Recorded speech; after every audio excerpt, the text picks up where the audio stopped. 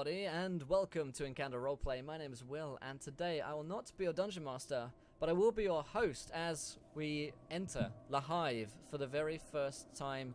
Uh, we have not played a single episode of this game yet. It's episode one. It's very exciting. We've got a whole new cast, a whole new crew in today, ready to uh, have terrible acts of butchery performed upon them by Skagif, our very own Swedish DM. How's it going, Skag? Oh, we got Skag. Hello. Hello, hello. We have your voice. There we go. Good to hear you, my friend.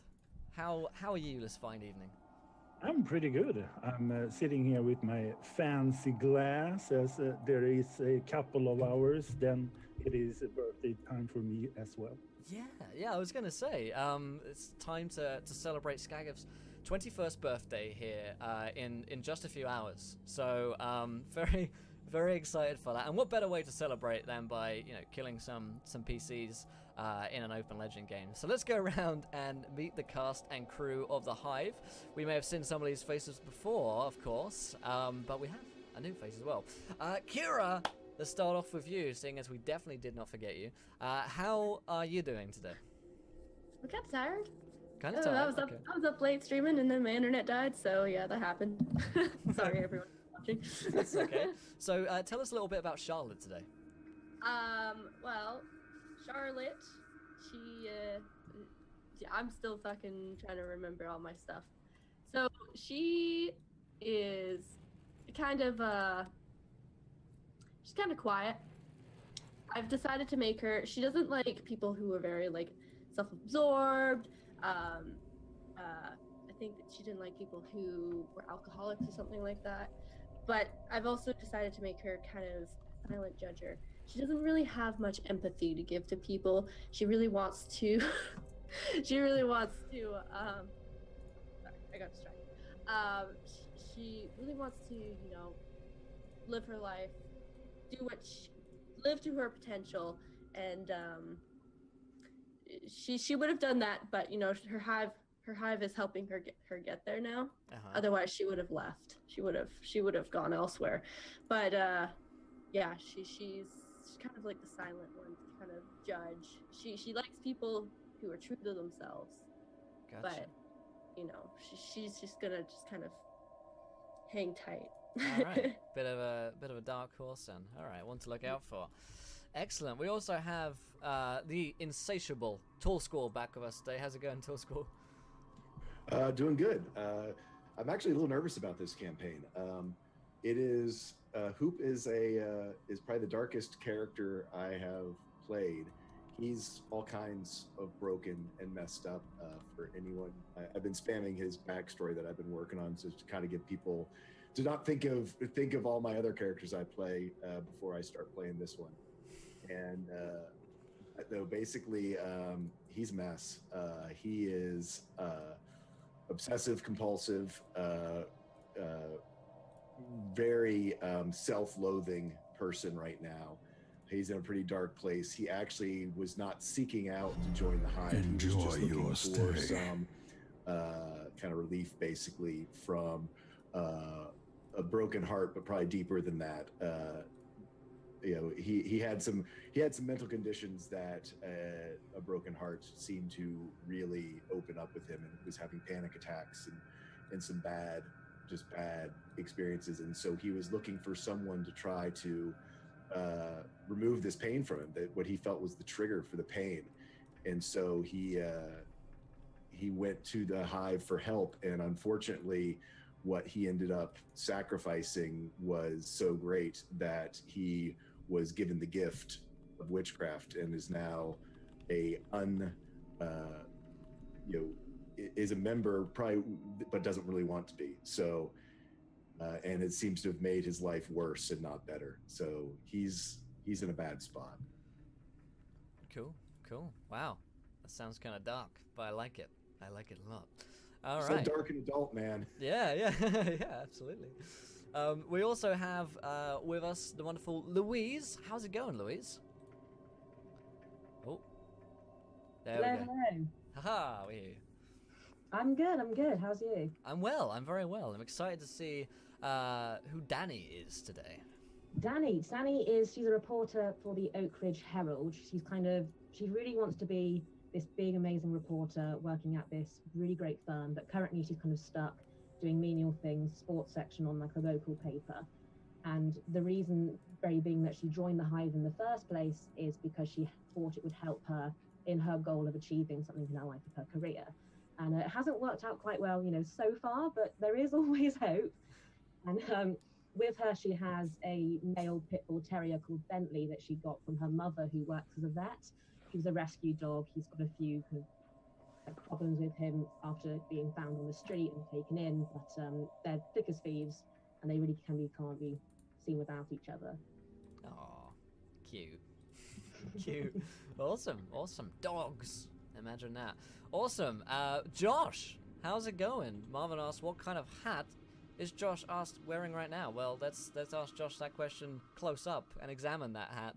So, Josh, um, how's it going? How's the hat? And uh, who are you uh, who are you going to be playing today, sir?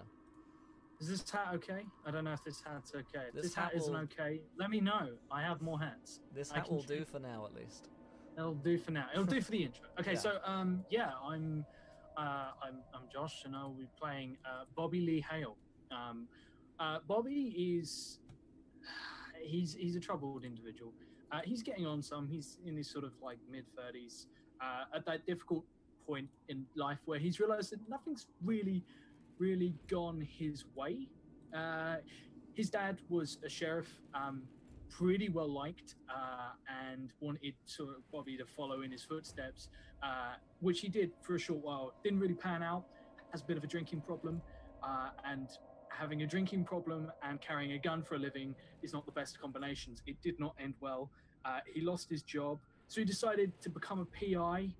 Um, and since then, no one's really been around to keep an eye on his drinking. He lives alone, so he's sort of become like quite a a closed off, bitter old bastard. Uh, he had one shot at sort of like bringing it back. He met a woman uh, named Rosalind who was absolutely the best and steered him back on the straight and narrow, and things were going well. The other problem he has, though, is he's a bit of a conspiracy theorist, and he sort of got the end.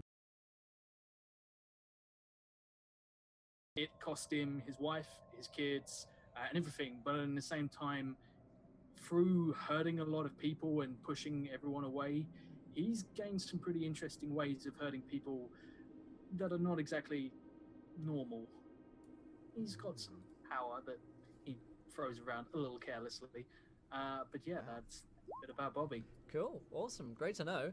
So, um, also wanted to thank the frog donates five pounds and says it's Skagif's birthday, so why not a birthday table of madness for a PC of his choice? Oh, the power, the power, Skagif. So, whenever you'd like to uh, choose a player character to uh, have a birthday table roll, then just let us know. Um, so, last but not least, I will talk about myself a little bit. My favorite topic of conversation. So, um, I'm going to be ta- I'm going to be playing uh, Graham today.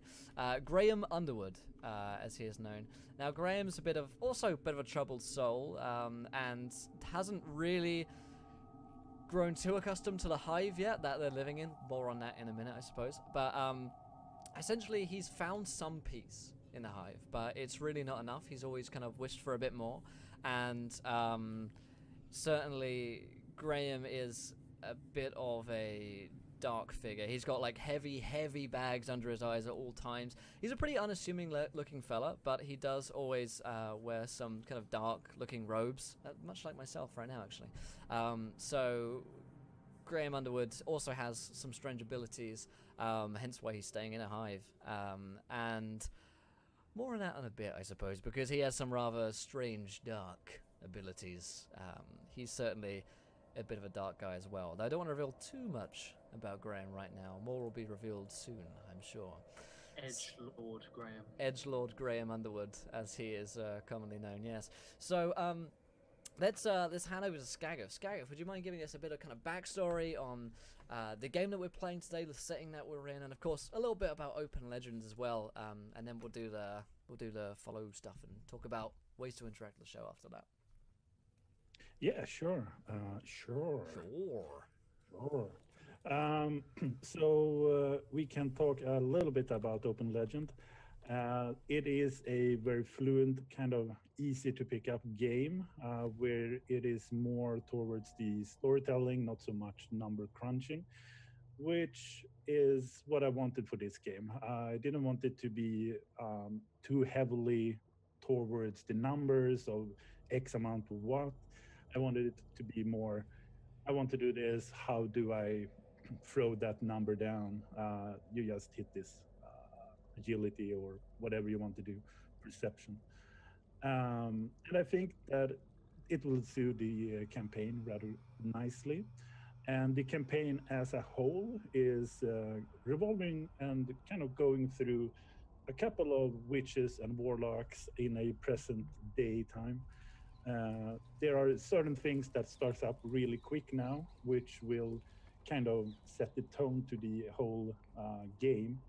The game it is more towards a horror dark theme where we will have it so that it's more drama based, I would say, than action based. So it will be um, going into the problems that the character has rather than uh, shooting zombies, even though shooting zombies is pretty cool. Um, that's for another. I game. can't deny that. I can't deny that's pretty cool. Yeah. So that is my kind of my my bit.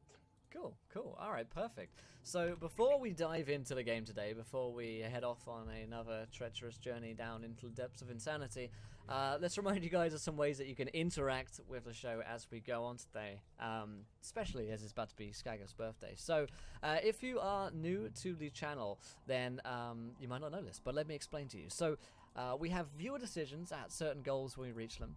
Um, and these viewer decisions allow you guys to throw ideas into the story that make us have to kind of react to them. So um, every 20 followers, or in this case now we've done 30 because we hit 20 in the last game, uh, you guys get to decide something which happens next in our game. You'll suggest an idea. All of your ideas will be compacted down into a straw poll, and the most popular decision will happen. Again, these are slightly varied. Uh, for the horror games that we're playing, we're only really taking some serious suggestions. Like in Call of Cthulhu, we had a lot of duck-based suggestions, which, while I love them, in other games uh, wouldn't fit so well into a more uh, mature, dark theme these games are going to be. So bear that in mind. Um, also, you can donate to the game. Give players nat ones, nat 20s, wild magic surges, or birthday table rolls in this case for uh, for Skagos B Day. Um, also, um, if you haven't tweeted, 20 retweets, we'll have another viewer decision, and uh, they'll just keep coming hot and heavy. So. Helps out, interact with the show, have a good time, sit back, relax, ask as many questions as you have. Once again, the website is currently down. We're working on a fix for hopefully tomorrow at the very least, so able to see character sheets. Um, but uh, yeah, so bear with us whilst we're doing that. And I'll hand over once again to the, uh, the illustrious Skageth as we begin episode one of The Hive. Yeah, uh, do I? Yeah, I'm on. Cool. So there are a couple of things that uh, you as players need to know. Uh, game-wise, there are a little bit of homebrewing going on in the background. So on your third tab called the journal, you actually have a section in the bottom called homebrew rules. I didn't know what to do with them. Uh, we kind of have a uh, setup for the um, the witch powers, the use of spells, etc. Uh, what I will do is I will kind of just skim through them a little bit because uh, you can sit down when we are playing and read them through a little bit better, but so that the viewers know. Um, when we are casting magic, every um, every player and every character has its own spell book. The spell book is basically their um, school of magic. It's their um, their way of conveying the energy, and how the witches and warlocks works is that they are plainly simple humans like any of us. And what they did was a big sacrifice, and this sacrifice kind of indicated that I want to become something else. It can be something taken directly from um, a sadness emotion um, where I want to change my life emotion can be anything where I say I want to do something with my life. I want to do um, a change or whatever. And they made a pact a a small little kind of sacrifice towards a crossroad demon a evil spirit or something alike, and they got the power to wield the witch or warlock uh, spells and what have you. So they are from startup, just a normal person, which uh, kind of goes uh, with there is no um, magical soul. They are not a specific um, being or entity. They are normal people that got the power to wield uh, some spells. And the way we are casting these spells, the magic, is that if you just raw uh, casting the spells, let's say in this very round where everything is happening, it will be very, very hard. Uh, if you're casting it within the scene when we're doing stuff, it will be hard, but not as hard. And all the way down to actually making rituals and putting them into like witch pouches, which will make it very, very easy. So we are going a little bit towards the rituals and towards the preparation behind it all. Um, however, they are so powerful that they can actually uh, wield the magic in a fight if they want to. It's hard, but they can. Um, and another thing that I want to touch base on is that the spells and the things that they can wield is made so that it's connected to each other. They can uh, wield the magic so you can link it together. So if one can put down like a warding spell saying that if somebody comes into this room, it will trigger an elemental spell. And that is a second uh, spell book, spell school. Um, so when he comes in, the warden kicks in, Mhm. and that is linked to like a firebolt coming down. So there is a synergy going on as well. Cool. Yeah, and um, the um, that is something for you to look at. Um, Absolutely. the knowledge part is there anyone who wants or are more attuned to the uh, knowledge uh, as i've said before how i made it is that the knowledge is a little bit of insight into the hive um, so that the uh, tier one is like have you been into the hive you know these things uh, the tier two is a little bit more insight you know about the rituals they do and stuff like that and the tier three is like I know a vast uh, amount of information about the hive. Is there anyone who want to change their tier to more or less? I'm gonna stay at tier one. I think. Um, I'm gonna. Now. Can I pop up to tier two if that's alright? I've been around a little while. Uh, Yeah, for sure. I'm a crotchety, miserable old bastard, you know. Hoop is definitely one. I mean, he's he's only three months in and not happy about it. Yeah, yeah. I'm good. That's good. I think I'll stay at tier three. I'll stay at two. Yeah, I'm good with that. Yeah.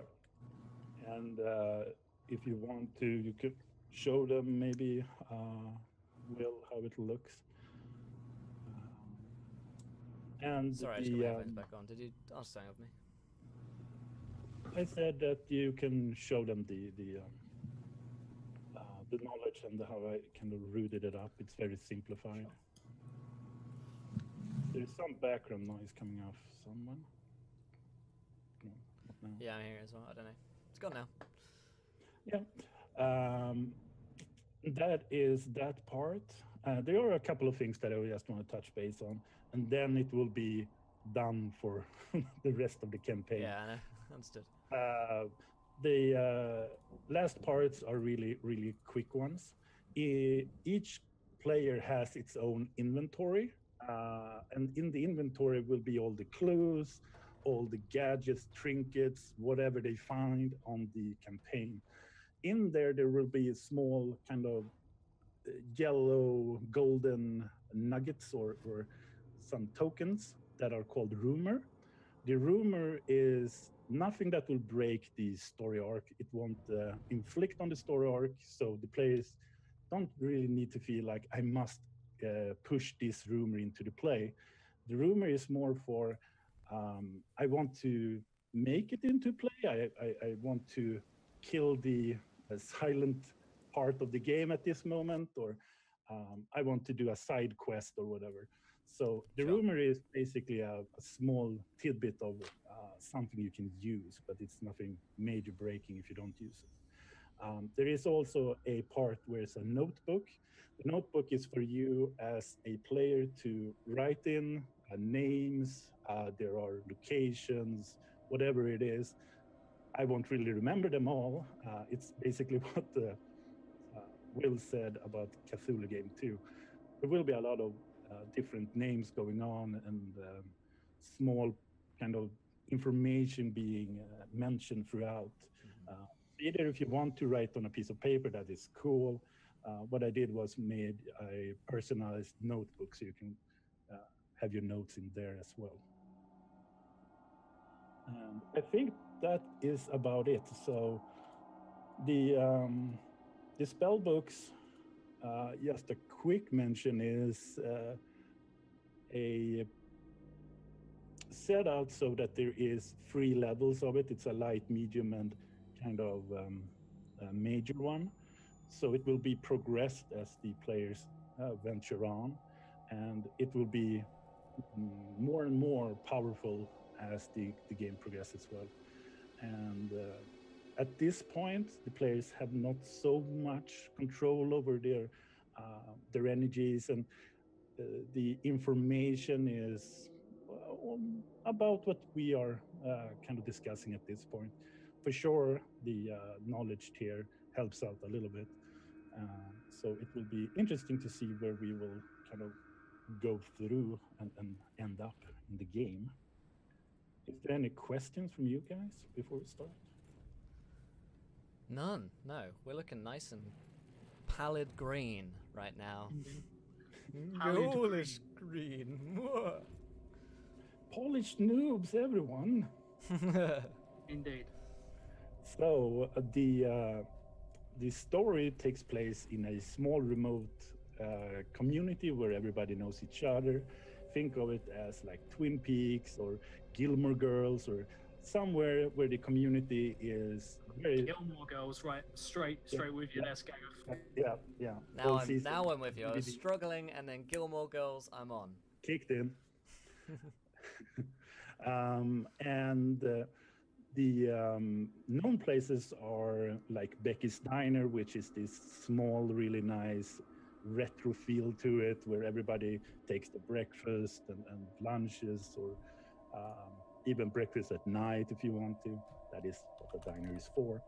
And uh, there is a small paper, uh, struggling paper, but still there.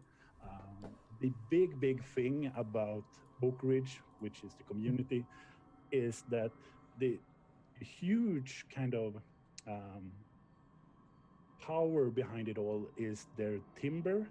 So there is a uh, a lumber mill called B- B- B- B- Black Pine, if I'm not totally correct, miscorrect. Um, I want to say you're correct, Gav. yeah, let's go with that's that. correct. Sounds sounds about right.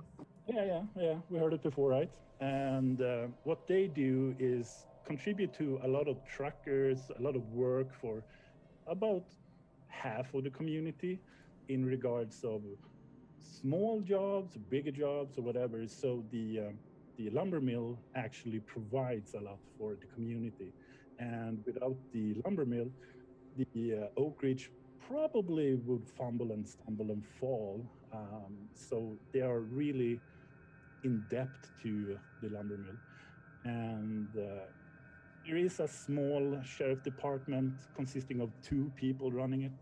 They don't have an own judge. Uh, there are a couple of small communities throughout, and the judge kind of comes and visits and do small cases here and there. Cool. Uh, and there are small, small shops and, and small vintage uh, places uh, which will come up throughout the game. And um, I bet that the uh, Becky's Diner had the most fine coffee around, as well as blueberry pie.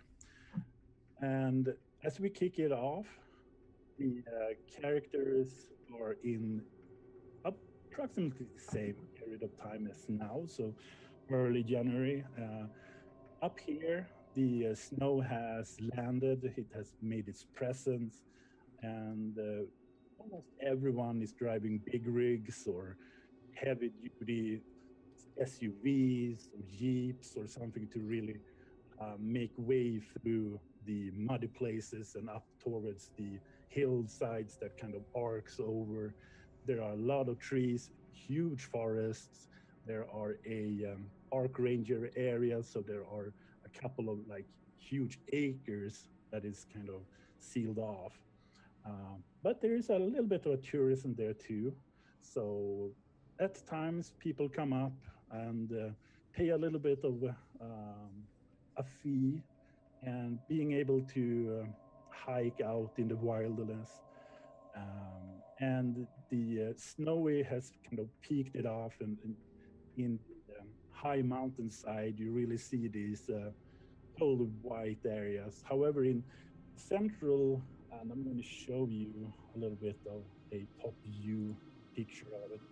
The um, central Oak Ridge is more or less like a main street going through, and these two at times three story high houses are kind of built upon that uh, main road, main street. There are a couple of houses behind, of course, making a little bit of a block system. However, there aren't like a vast majority of roads leading up and down. Uh, the most uh, you live is kind of remote. There are a lot of these mad prepper kind of guys living here and having these small farms or living like in a small hut somewhere in the mountains. You know where they live, you, let them live there, and once a month they come down, or maybe a couple of more times coming down to Becky's Diner, drinking the finest coffee. Um, and at this time, it's early morning. The um, they have talked um, very much about the weather being so much changing throughout uh, the January, the startup of it, and they've talked a lot about how the weather keep on changing. Not so much, not snow.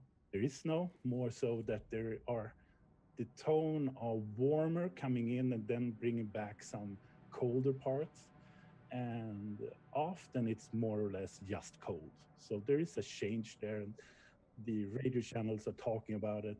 And the radio channel is actually um, centered in another community, but has like an area where they operate.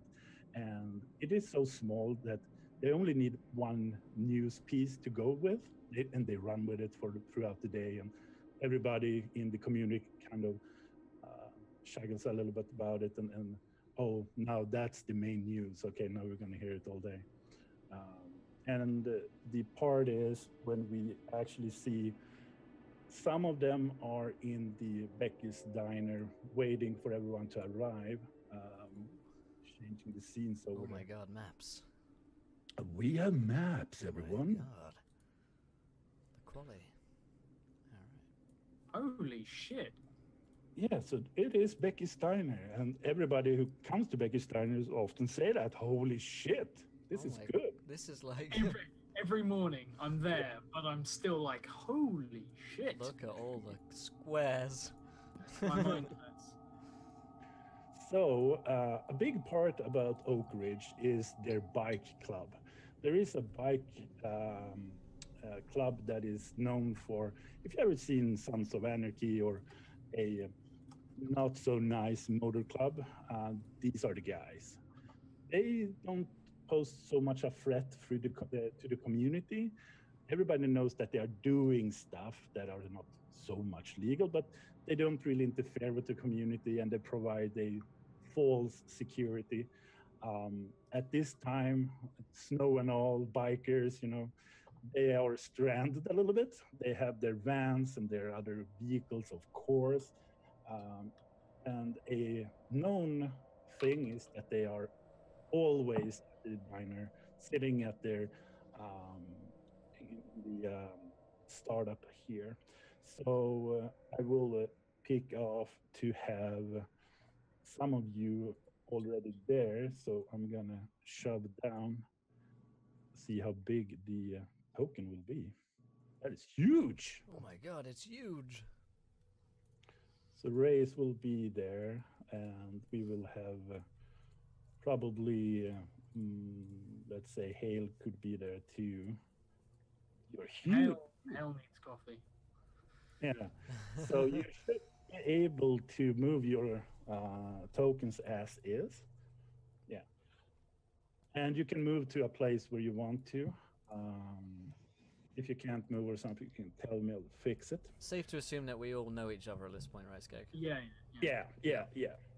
So you have been. Uh, uh, who is the youngest in the hive? Uh, it's probably Hoop. Hoop's only three months in. Yeah. So we're talking about at least a couple of months that you have been able to connect and, and talk. Um, maybe so that you're not really like best buddies, high fives all around, but still you know each other. And um, at times you might uh, pass by and, and talk a little bit. Um, and then we will pick the other ones. We don't really have one for you, Will. Uh, did you see your token part? I don't see a token now. Um, I will move it just so you can pick it. Oh yeah, uh, let's pick guy uh, Grey Man with tie. Okay, okay, okay. Uh, what we will do is uh, give that to just Underwood. Uh, are gonna save it. Enjoy your stay. Easy peasy, lemon squeezy. That token, right? And then we are done with that. We're going back to the diner because that's the action. Is uh, we're gonna do this. So Underwood, you are down here, and Hoop, you're also like down here. You're not really indicated yet. Uh, and we have marks as well. What's you doing this? Yeah. You want to shout out some recent followers? Wombat Combat, Latraz, Reality Check, and Tank Dempsey. Thank you for following. Your gentlemen and scholars, welcome to the adventure. Tank Dempsey followed. Yeah, man. Shouldn't you be, shouldn't you be killing zombies? You'd think so. He, tu- he Yeah. turned up today, so we don't have to. Ah, fair enough. Mm. That, that, that, that, that, that makes sense. Yeah. So the scene is that we have Rice and we have Hale uh, sitting in the diner, and Jenny, who is the uh, uh, waitress, everybody knows her. Um, she's moving around rather with ease. Uh, they have a second waitress as well. They use at times, um, but now after Christmas and all, everything will kind of go down a little bit. So they're only using uh, Jenny. Uh, Donnie is the father who doesn't really like that Jenny is so kind of mesmerized by one of the bikers. Uh, it obviously is, uh, which is Johnny, if I'm not really out of Classic Johnny. Johnny, man. Oh, Johnny. what will you do next? Exactly. Uh, We all know Louise is well into Johnny. Like you could just hear it in her voice there. Oh, I'm jealous. I'm secretly jealous. Yeah. Johnny. Jealous. Yeah.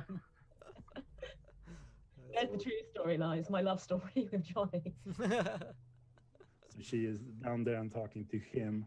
Um, Race, you are drinking what or eating what? I'm having a nice coffee. You know, it's been a hard day at the office. Need to need to whip myself up. Yeah, for sure. And Hale, you were drinking only coffee and more coffee. Oh no, he's he's he's drinking black coffee that may or may not have bourbon in it. Just a Yeah. little bit, just a just a tickle, nothing too extravagant. Yeah. Just a bottle or two. It's fine. Mm. Just Just fill the up. kettle with bourbon, you know. Yeah. So you kind of had the bourbon already and said like, yes, Drink it from bit, the bur- from Yeah. the kettle. A little bit of dab. uh, and uh, soon, who else will join up to the merry band? Oh, I'll head inside. Um, yeah. You can So describe yourself a little bit, perhaps? yeah, yeah. Uh, so Graham's wearing some like dark clothes. He doesn't have like, like a hood like me, but this the color of his robes are probably kind of similar. Uh, is cut in a kind of I don't know, whatever this world's indie hipster kind of cut is. Um, that's how he wears it. It's like skinny jeans, um, and really like big heavy bags under his eyebrows as if he hasn't slept in weeks. Um, and if you look closely, you see there's loads of dirt under his fingernails. Um, he doesn't really look after himself too well, uh, but he, he kind of shuffles into the diner and sees Bobby and uh, and Danny there. Kind of, I get waved over, I suppose, and I head over to the table and say, uh, "Hey guys, uh, Hey. what, what what what what you doing?" Oh, just don't even. Long day at the office. Don't really want to talk about it. How how's you? Yeah, not bad, thanks. Just, just the usual. I was kind of up late last night, though. Yeah. Wanna Oh, I'm gonna need some coffee. Hey, Becky, can I have some coffee? Becky, I need some coffee. he sounds like really emotional. Danny will Yeah, kind Jenny of slide over. some coins across to where Becky is as if she's going to pay for the coffee.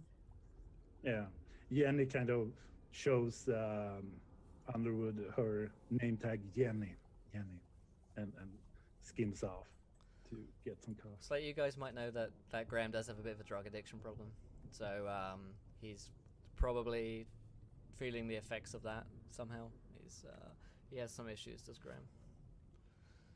So yeah, um, I, I thank her for the, the, the coffee and uh, and kind of like slurp it down ravenously. Yeah, this is good. So, do you um, other kind of join up with him, sitting in his table, or are you just eyeing him and talking over? I mean, I'm gonna sit down next to them if that's possible. Yeah, yeah, you can move your own. Yeah, yeah. I like slide across to sit next to them. Grim snorts the coffee. Oh. So, uh, I When- believe that Hoop comes in after a while. Uh, yeah, just letting you know I can't uh, move my token. You can't move it. If we can. Uh, Hmm. Yeah, that would because it is the wrong one. No, I can. Yep. It's because I hate you. Oh, oh sad. Denied. denied. So what I will do is. So um, Hoop comes in and uh, he actually moves over to the far side and sits down at a booth. Um, I mean, he's wearing what you all normally see him in. He's in these really like, oversized type clothes. Um, he has multiple layers on, uh, even though it's you know not that terribly cold outside. But he, uh, you know, he's got like a hoodie, and then he, over top of that, he's got like a, a big, really oversized fleece shirt. Um, he kind of has one of those, you know, uh, knit caps on his head. Um, he's got a pair of sort of the nicer sort of jogger sweatpants on that are also kind of loose on him. Um, I mean, at, if you all didn't know him a little better, I mean, you would think most people probably when they first encounter him think that he's he's overweight, uh, just because he's such a, a big figure.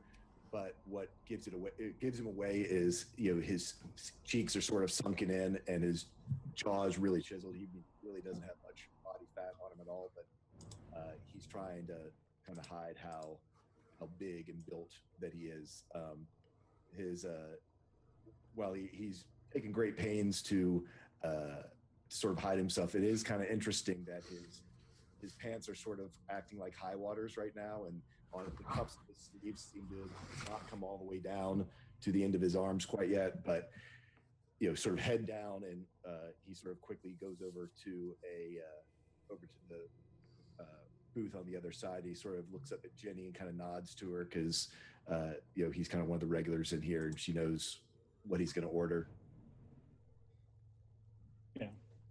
Uh, and Jenny kind of ignores you for a bit because she's talking to Johnny. I mean, the love of life. Uh, after a while, she comes over to you, flipping her uh, notebook over, and um, it's not acting up, but she's kind of getting the feel that she's doing it in a hurry, um, looking over and, and over at you. Um, the usual, I guess. Yes, usual, please. and she doesn't even take a note um, mostly because you have been here so many times and, and, and you are a kind of you stick you stick out um, so she kind of um goes back and, and tells uh, Donnie what he needs to prepare. Uh, a little bit more uh, bulking menu, and she kind of talks a little bit, and, and you all hear a little bit of a uh, argument where Donnie says that you have to interact more with your customers. Can't you only be there? Blah, blah, blah, Kind of had that argument. And uh, Marks maybe comes in at this point. Yeah, um, Charlotte's gonna walk in. She's wearing um, kind of like leather leggings, quote unquote. You know, kind of like the fake leather looking le- leggings. And she's got like combat boots on. She's got a hood. She's got her hands like in her hood's pocket, and her hood's up. She usually has her hood up, and then her like long hair is kind of just like just falling, falling down. And she's gonna walk in. Um, and uh, there we go. Everyone thought of just okay. Um, she's gonna walk in, uh, gonna kind of glance over. She's gonna not necessarily sit with everybody else. She, she's not gonna not gonna go as far, but she's gonna she's gonna kind of like sit like here-ish and just get a coffee. She'll uh, down. Yeah. Jenny.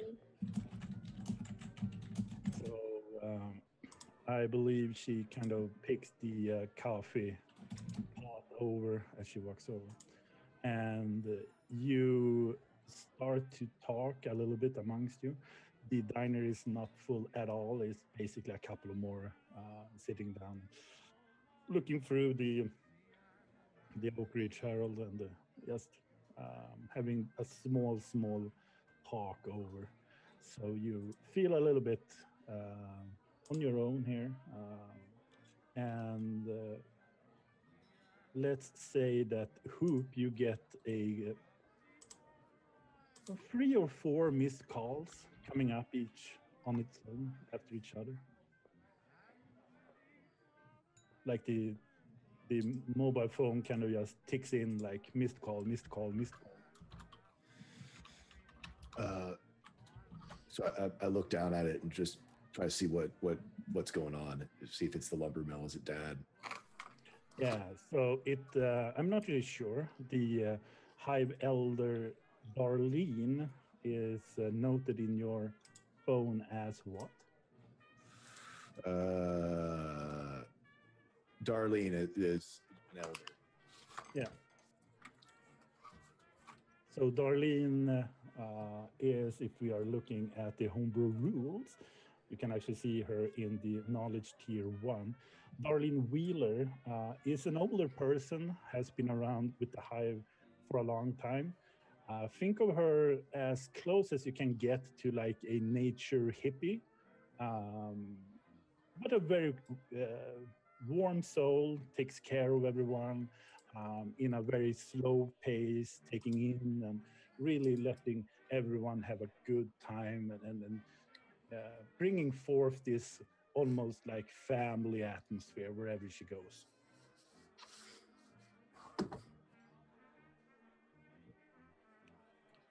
What a gal. So, Hoop, uh, what kind of uh, name or, or so is uh, Darlene in your telephone marked down as? Bay. Lover. Uh, Yeah, yeah, she, yes, yeah, hippie. I have her just marked down as hip, hippie. Uh, yeah, so you get like three missed calls from Hippie. Lord, what does she want? Um, he calls her back. yeah you get directly like uh, this number can't be reached at this time and you get a small message uh, and i assume you open it up So, uh, oh, a text message. Yeah. So yeah, I open it up and see what it says. uh, it is from darlene and it is like just um, h-e-l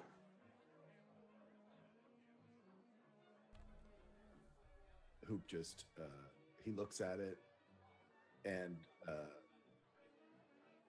goes. She knows where I am. She knows where I always am at this time, and just puts it down on the table and leaves it. And uh, you as a group you kind of see this um, thing go down Do we do we know Hoop? Yeah, everybody knows each other. Yeah, I mean, cool, we- yeah. Yeah, pretty small community. So I, I say, Hoop, uh, what's the problem, man? Wha- wha- wha- What's going on? What? What do you mean? Nothing. Nothing. I just. I mean, it just looked kind of weird on the phone then for a minute, and then put it down, and then I don't know. You look pretty agitated, so Just looking out for a friend. Is Hoop is Hoop sat with us, or is he sat? No, I'm sat by myself on the other side. Okay. Um, Danny is gonna pick up her like cup of coffee and move over and sit down next to you and be like, "So, um, what was care telling me what that was about?" You should know. Why is she calling me? I don't even want to be a part of this thing. He holds up the phone and shows uh, shows it to her. Uh, of course, it says hippie. It might or might not realize who that is. Three times. She knows where I am. I'm always here. This is where I am at this time. It's what I do. Don't you think maybe something could be maybe wrong? I like I like scoot over, and I probably don't say anything. I'm just there listening. You've been there longer than I have. Why didn't she call you? Why don't you call her? Why do you all keep laying this on me? I don't even want to be a part of your little club. I didn't, Um, want I didn't ask for this. I'm I'm sorry. I know this is a lot for you, and I'm sorry. I don't know why she called you. I can't answer that myself. But maybe if we speak to her, maybe we speak to her together as a team, perhaps we can get a few answers about what's Hey, going hey, on. hey! Uh, not to butt in, but she did say H E L on that phone, so maybe that means like help, Or hell, like where all of us are going. or like maybe both. Yeah, both could work, but she might I'm- be in Hmm. hell and she needs help. Have you thought about that? I hit, Um, hit dial and throw it across to whoever's across the table from me. It probably hits me in the face. I mean, slide it across. You know, I don't Yeah. throw it. I mean, I slide it to whoever. You know, I, the- I the- pass the it around then. I'll, I'll pass it Uh, around to the Sweet guys man, so everyone can. just that back. I have a Yeah. I have a bad feeling about this. Yeah, who picks it up and listens? I'll uh, I'll take it because I'm I've been in it the longest, so I'll just kind of like hold the phone up and Yeah, uh, you hear this um, almost like not reaching through when it's kind of sparkling, uh, sparkling, making this um uh, kind of static noise is the word, uh, and uh, you hear this muffled sound. You hear like almost as if the uh, phone is on the uh, wooden floorboards or something. You hear this uh, heavy footstep and making the phone almost bounce on the wooden floors or something because it makes this rattling sound. And it is someone moving around or multiple persons. You're hearing this, and there are some strange muffling sound. And and you are kind of, is this all? Is this what is going down? You hear this enormous high exploding sound after each other and it's not exploding as an explosion you kind of reckon it for being a fire from a weapon that is very powerful Is so it- like a gun? more more more than a gun but yeah Okay. Oh shit! More than a woman. so did, did everybody else hear that, that come through the phone then? yeah probably something kind of mm, uh, coming out yeah The- I'm- I'm gonna pass it to um, Danny. Just like, yeah, something's going on for sure. Yeah, I, I stand by what I said earlier. I don't I don't have a good feeling about this at all. Maybe we should go check it out. Just go see where she usually is, anything like that, just to find out what's going on. Uh, I Good think we idea. should check it out, guys. I mean, this doesn't sound normal. This isn't like her, right? No, it's not usually like her to have explosions in the background of calls, not as long as I've known her at least. Right. So yeah, we should. We should take a look. Skagith, what day is it? It is uh, Wednesday. Yeah, okay, so it's not Sunday, so they aren't all meeting. That was, yeah, I was or Yeah. Monday morning after they met. That's what I was thinking. The same Ah, thing. right, yeah. Um, in which case, yeah, I like at this point, Bobby, like if if gunshots have been or something that sounds like it could be a weapon that has been heard, Bobby's gonna move over.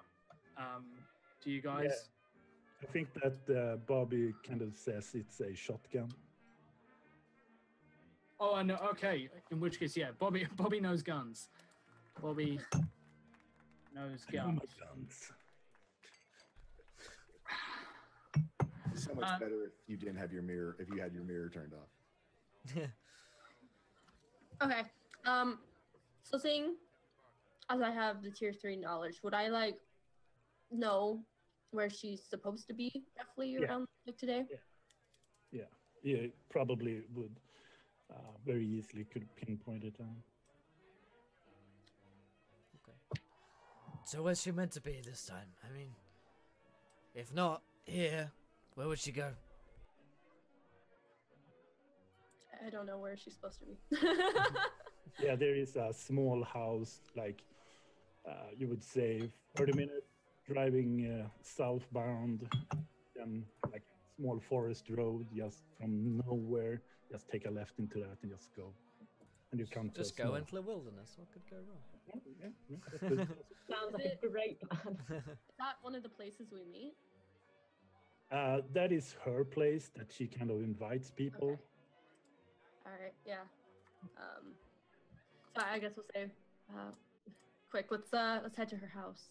Can Bobby's she's there. uh, Bobby will point out. He says, uh, "Shit, I got my truck out back." Perfect. Let's go.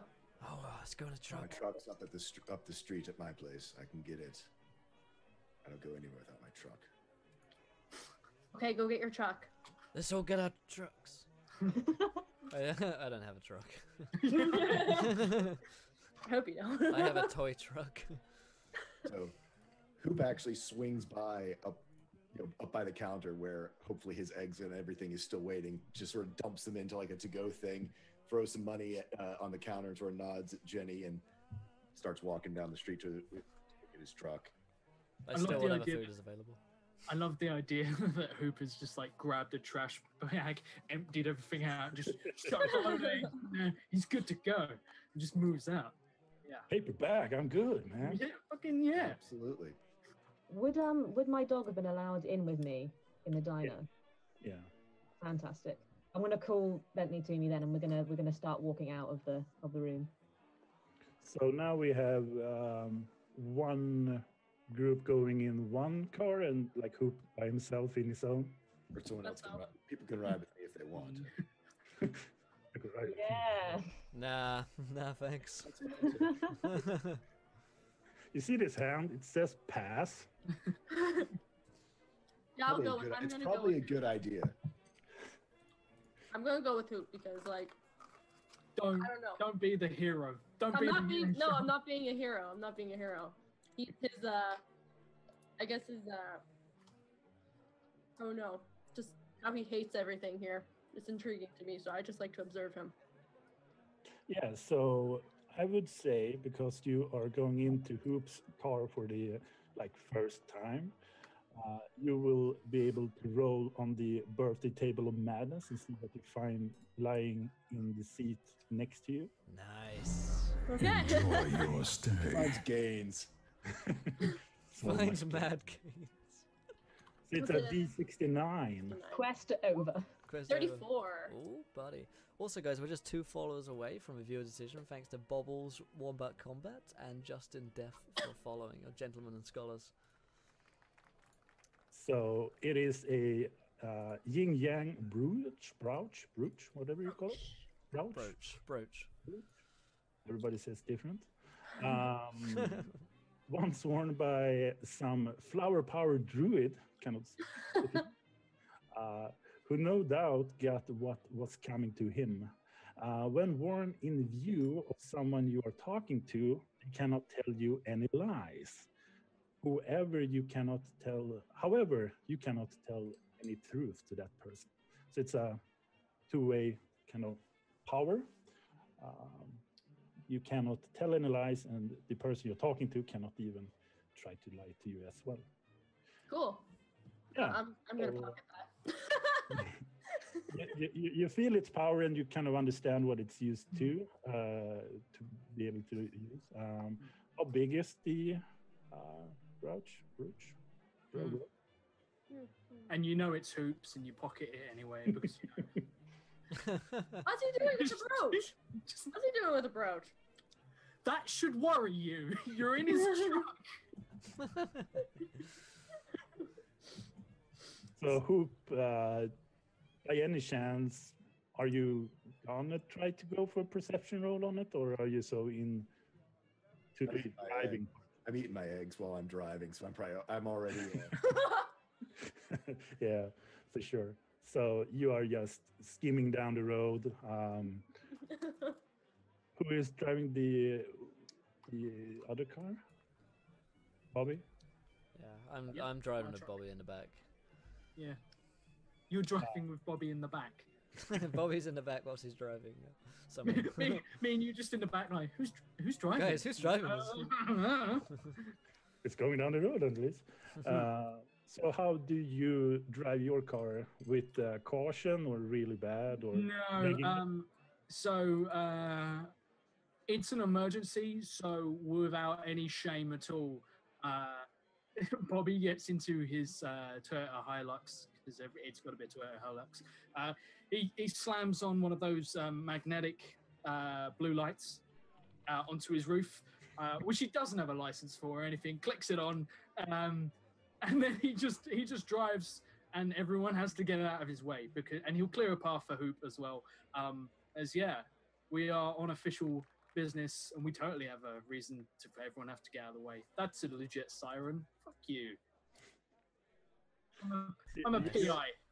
You're, you're blasting your way down the road. Uh, in one of the uh, intersections, you drive like a red light. You see your father sitting in his sheriff truck, going like, My life. I am I am loving this by the way. Like Graham's like head out the window like a dog. No, you know, you know what, you know what. It's my actual dog. It's it's got the actual back, so it's got like an actual compartment between the two, like a proper police vehicle. So Graham is basically in the back of a police vehicle, probably not for the first time in his life. Cer- certainly, yeah, certainly not. Cool. so as this is not a real police car, and it's kind of, uh, No, it's a farm truck. yeah. Uh, kind of light. hey Bobby, have you ever arrested someone in this? I made a citizen's arrest, sure. Wow. Did did he go to jail? At, th- at this point, Bobby has one knee on his the bottom of his steering wheel. He's putting rounds into his 357 Magnum. He's j- he's j- this is the worst driving you've ever seen in your life, and he's just like, yeah, yeah, sure, sure, whatever, kid. Danny is regretting every decision she's ever made about getting in this truck. Cool. Me- Meanwhile, like Hoops driving really carefully, classical music playing. It's just the weirdest contrast. actually, no, it's probably in silence. It's that weirdly oh, oh. weird when you someone drives and you know doesn't play any music, doesn't talk. Like the, the the radio's like missing. It's like just Oh yeah, sort of probably yeah. It's, like- it's probably missing, and there's probably like wires hanging out, like it got like chucked out and Yeah. chucked. Hello, darkness, my old friend. old As he drives. So, uh, Hoop, how do you drive your car? You see that uh, Bob is kind of driving at least. I, I'm just shaking my head. I'm like,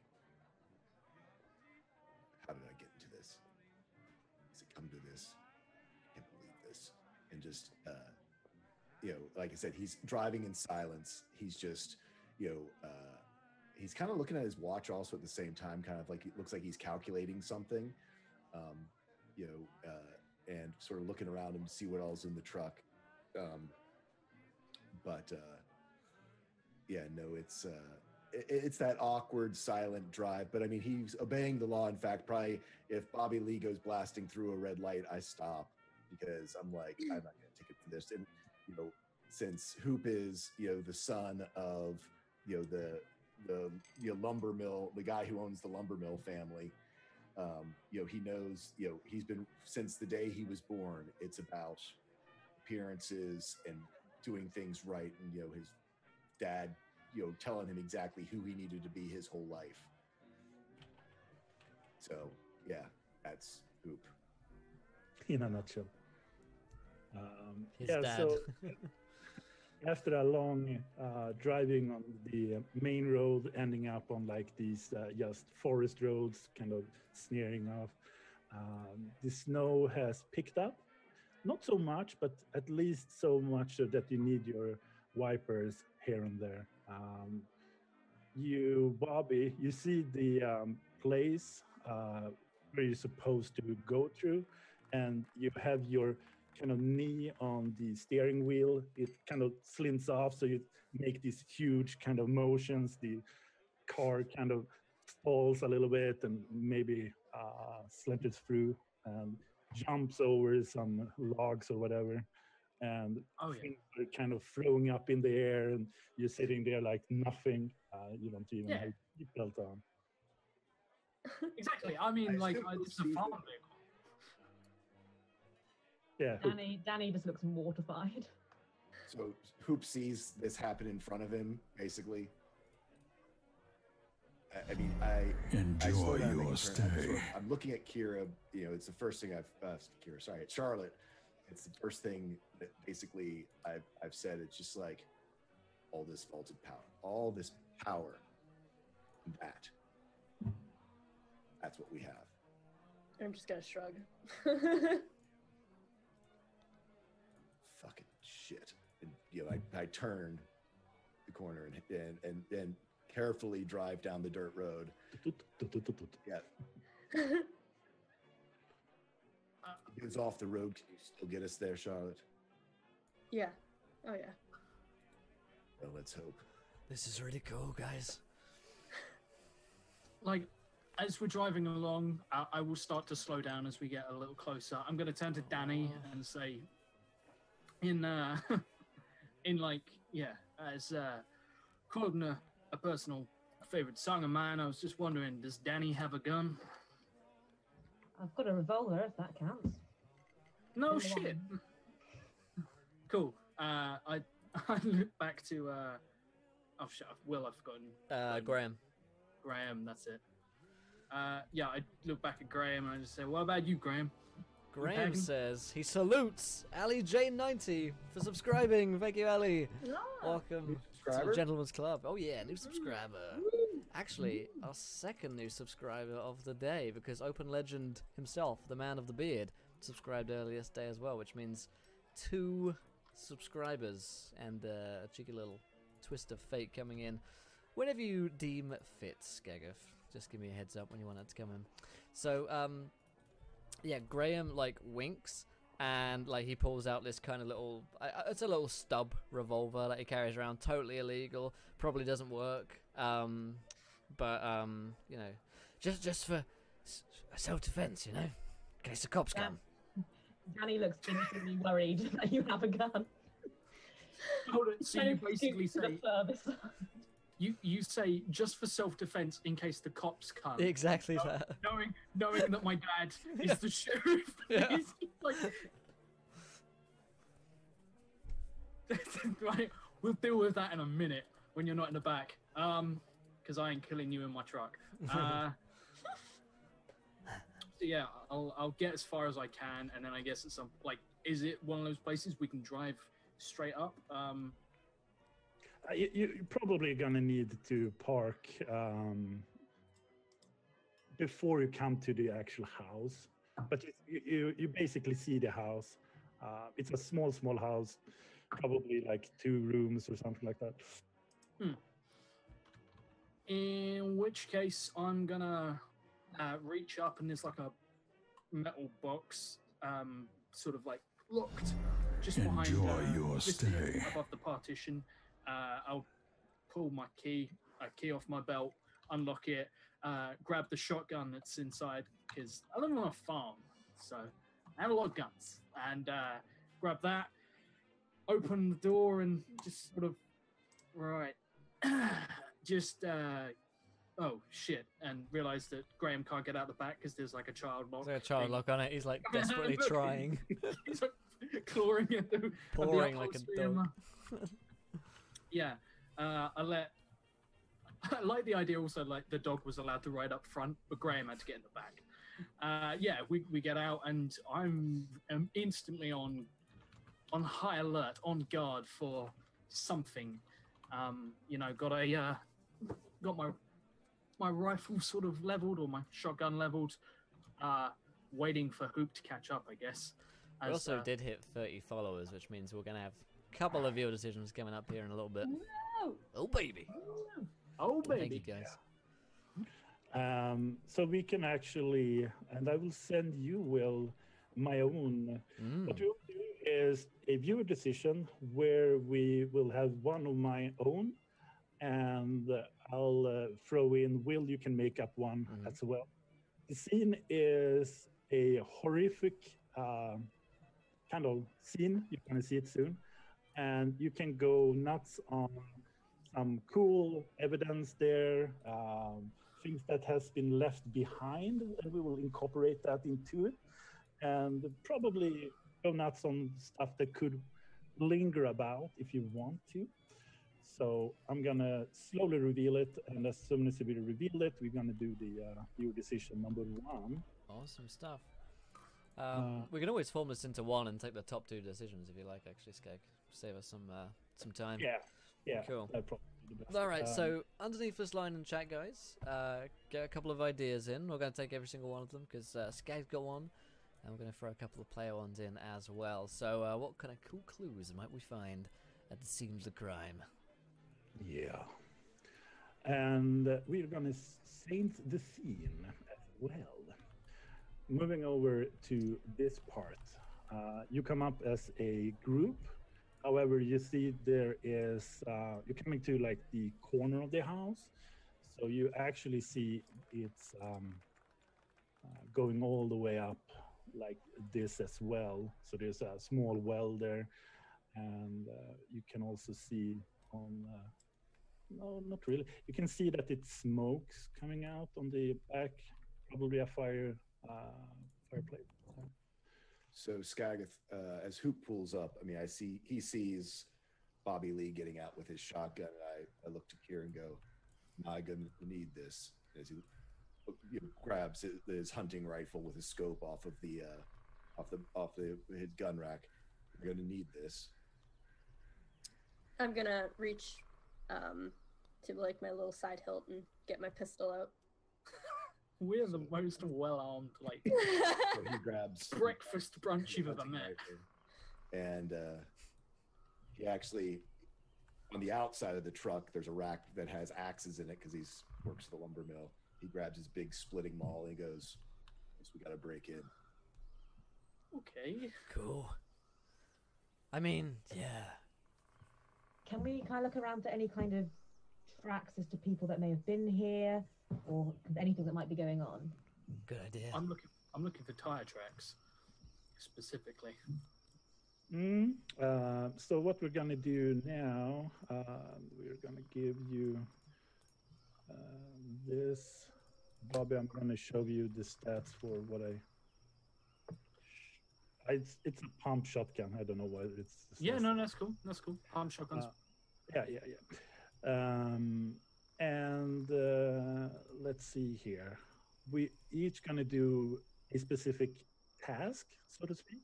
So we're not gonna do everyone's gonna do investigation role or Yeah. something like that.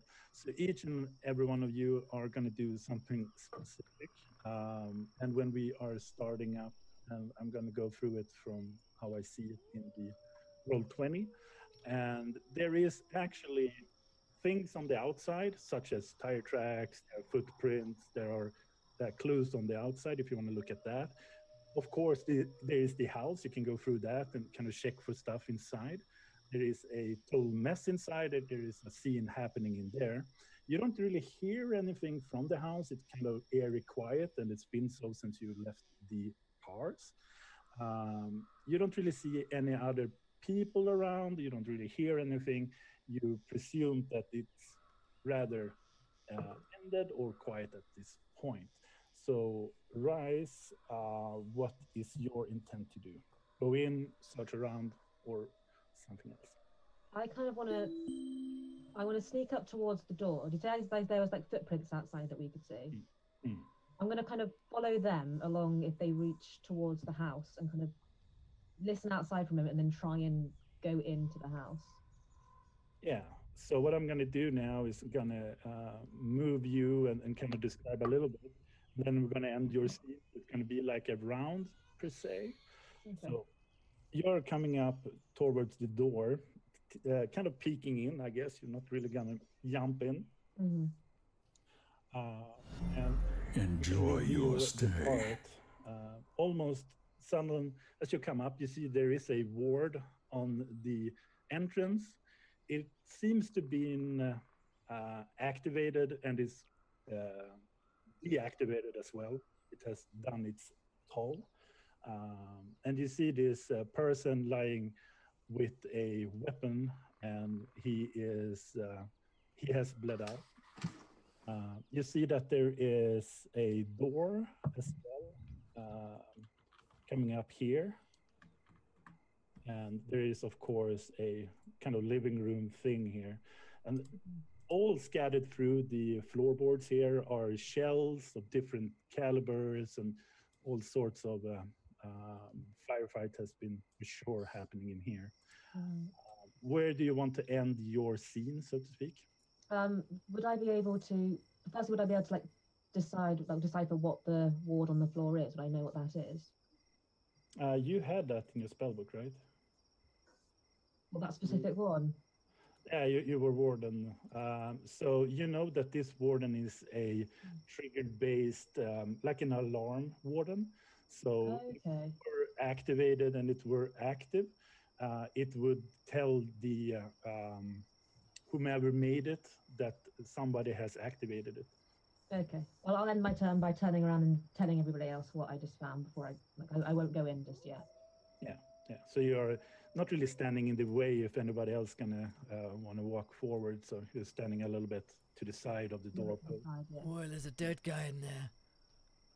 Um, and you, with your knowledge uh, of two, you know that this is Braden Crawford and one of the elders, 29 years old. What the the dead guy? Yeah. Oh no.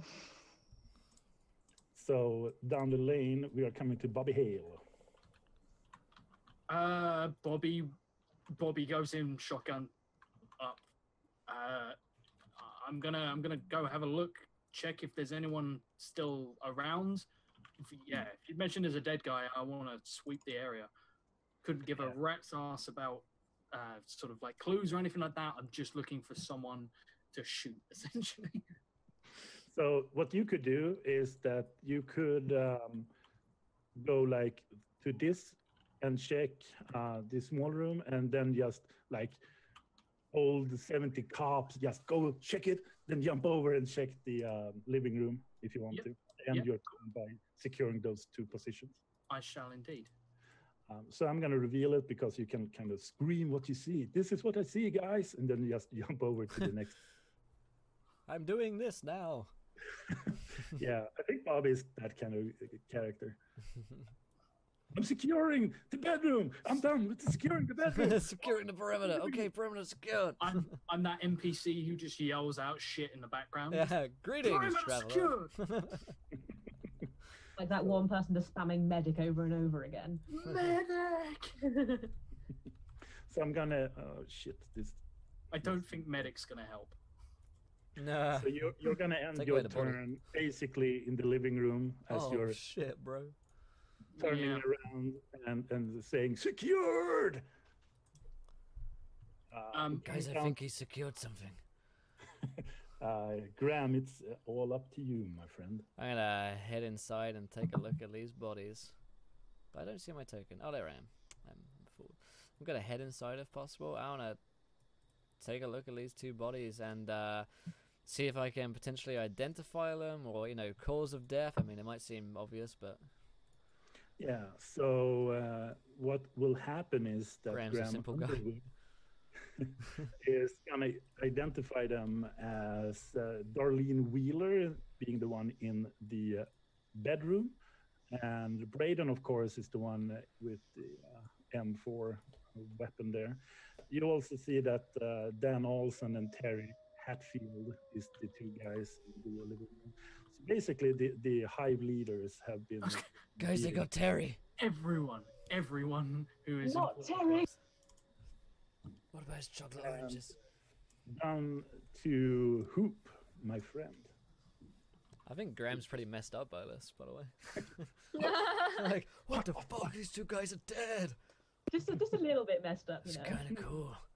Hoop is just like idiots. And he walks up here to the far end uh, to go see if there's anything outside. Uh, his first instinct was when he was seeing smoke that there might be a fire there that uh, needed to be a problem. That could be a problem. Uh, you know, the place had been set on fire. I don't know what he's going to see when he comes up around the corner. So Yeah. So I revealed it. So indeed, the smoke is coming from fireplace, really, really at the brim of the end of whatever is burning inside. Um, you see some tire tracks. If you want to investigate those as your ending part. yeah, but I'll investigate the tire tracks.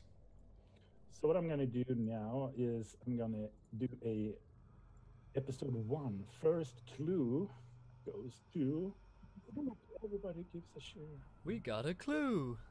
Yeah. Blues clues. You get a clue, and you get a clue. Uh, edit down to. By the way, the uh, the viewer decision does look like we have a top two currently. and I will link you to that skag. okay, Okay. Oh, there it's you just- go. Oh, is it just for me? Yeah, yes, you are the one who kind of For your eyes Okay. only. Yeah.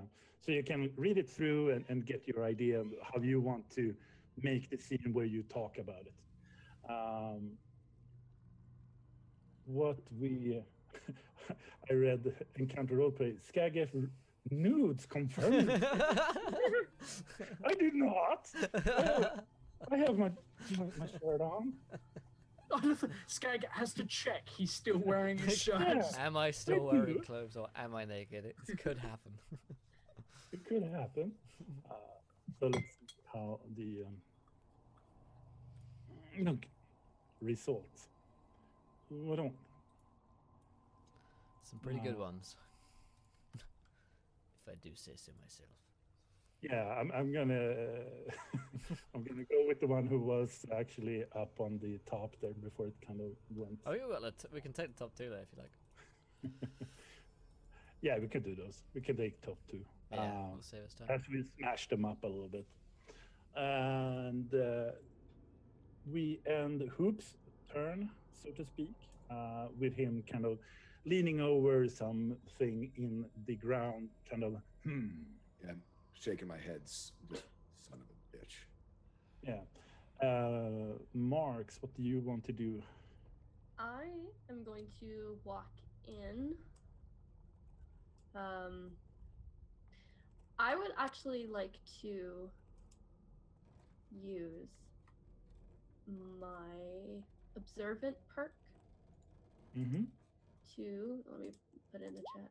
Ugh. to uh, find something out of the ordinary, something something that will really give us a good clue, potentially. Uh, as you approach in there, kind of turning Enjoy around, your stay. you see, because of your observation, extra perking special ability plus one elite skill. Uh, special snowflake. Yeah, you see that Darlene actually has tried to hide a piece of note paper or something. Um, she has done so by pulling it into her sleeve. And if you weren't so observant, you wouldn't have seen it. Uh, do you pick it up? Mm-hmm. I do.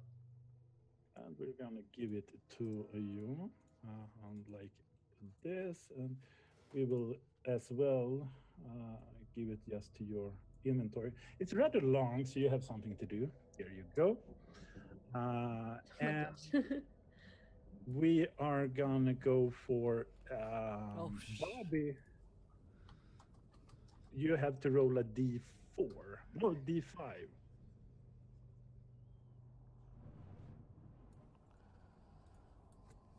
Do it, Bobby. What could go wrong? d5, man. Roll it. Do it, fam. Yeah, roll it, Bobby. D5, First man. roll of the game. Five, five, Um, nat do, it, do it or no balls. One, two, three, four, five. Uh, sure. So, uh, Five, five bullets shoot you, hit you, and murder you. and Fine. Not uh, you.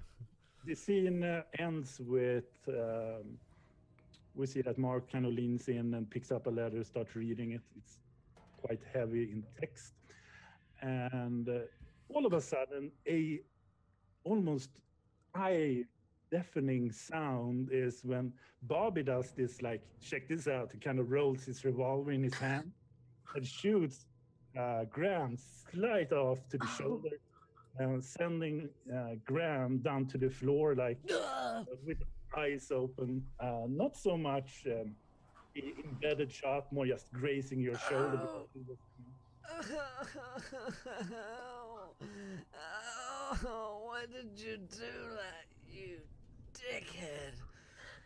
I'm gonna run out of the room because I don't know what's going on. I'm gonna have like my pistol like ready. He just shot me. I'm, I'm running straight into that room. Ah, why, ah, why did you shoot me, Bobby? Bobby, what are you doing? I, I don't know. You literally just shot me. This was my good arm. like my other arm has like loads of needle marks. I assume Hoop heard the shot, Oh, of course.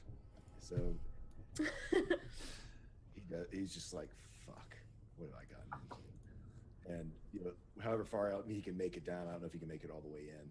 Yeah, yeah, for sure you can. what are you doing to think- that thing, Bobby? Oh, I'm like crying on the floor, pretty much. No one gonna help me, really?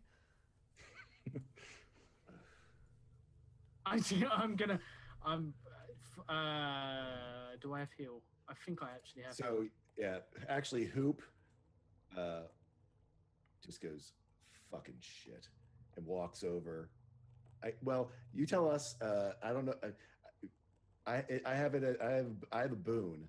Is can we can I boon this or is that magic? That has to be Um, fair. so, so what it kind of makes out of it is that a boon uh, could either be like a skill, a uh, magic part, or whatever. So I would believe that you have used a heal as like a medic skill, so you actually know uh, how to bandage yourself. Uh, out of the lumber out of the lumber site. Yeah, I'm sure people. I mean, I've probably seen a lot worse with chainsaws and shit like that. So yeah, I'd probably pick him up not too carefully, see that it's really just a graze, and uh, rip off rip off a, a, basically the bottom of the sleeve of his arm from where it ripped through. So I, I rip his sleeve off and just sort of tie it around it and go, there, you're better.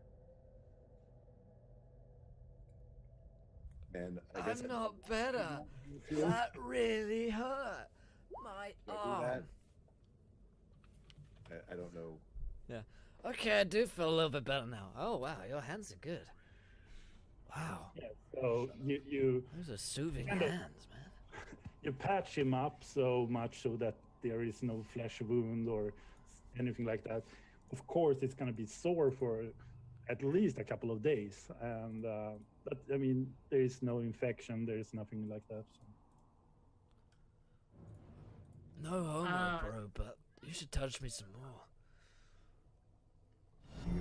Who just walks Enjoy your stay. I'm stunned. I like I like the bullet Sort of come like him because he had him picked up a little bit. Just kind of drops him.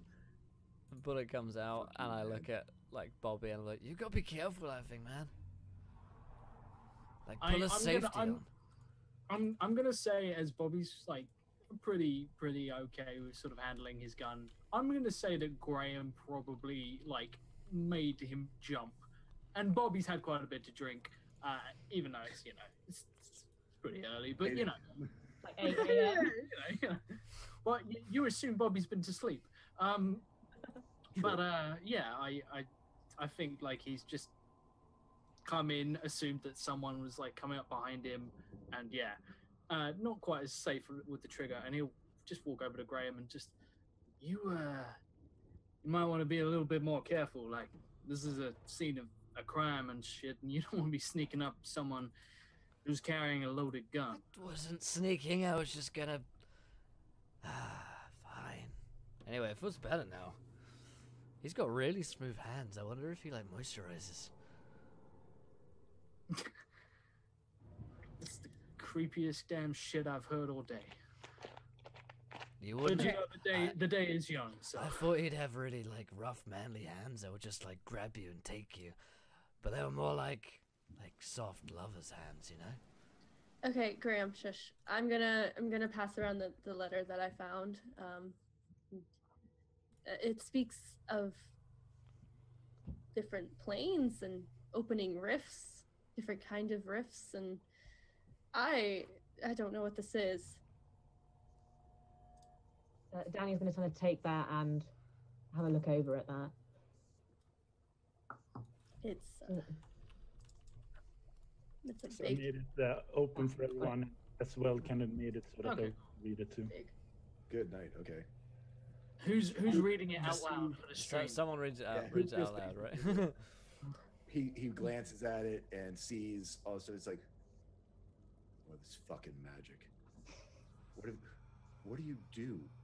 I look at Kira because I know she's been in this the longest. What is this? What have I gotten into?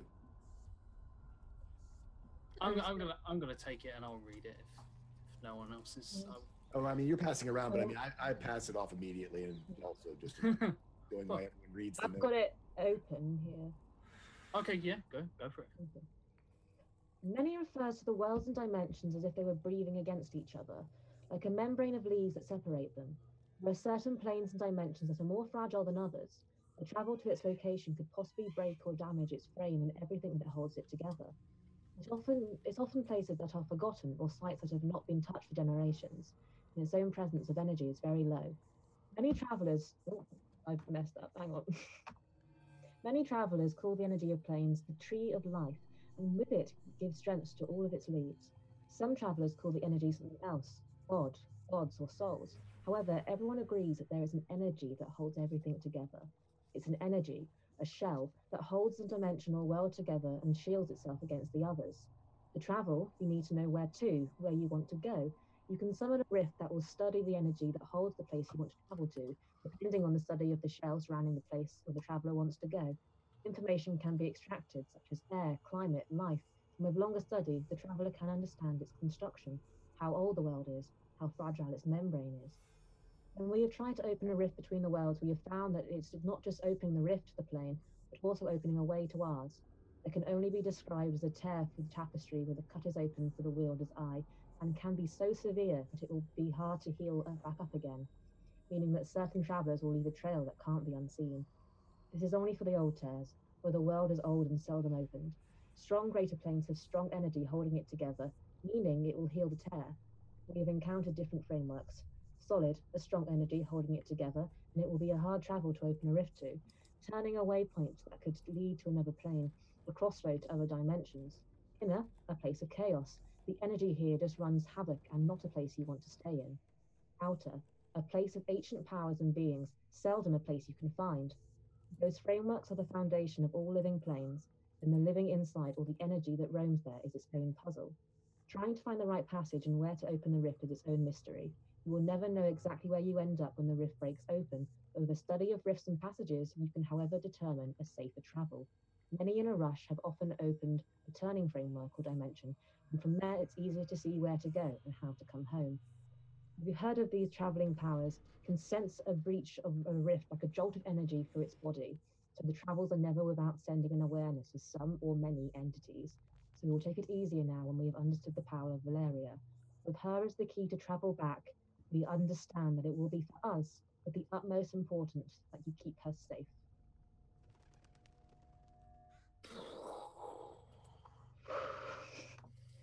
Danny's just gonna take a, take a seat down on a nearby sofa.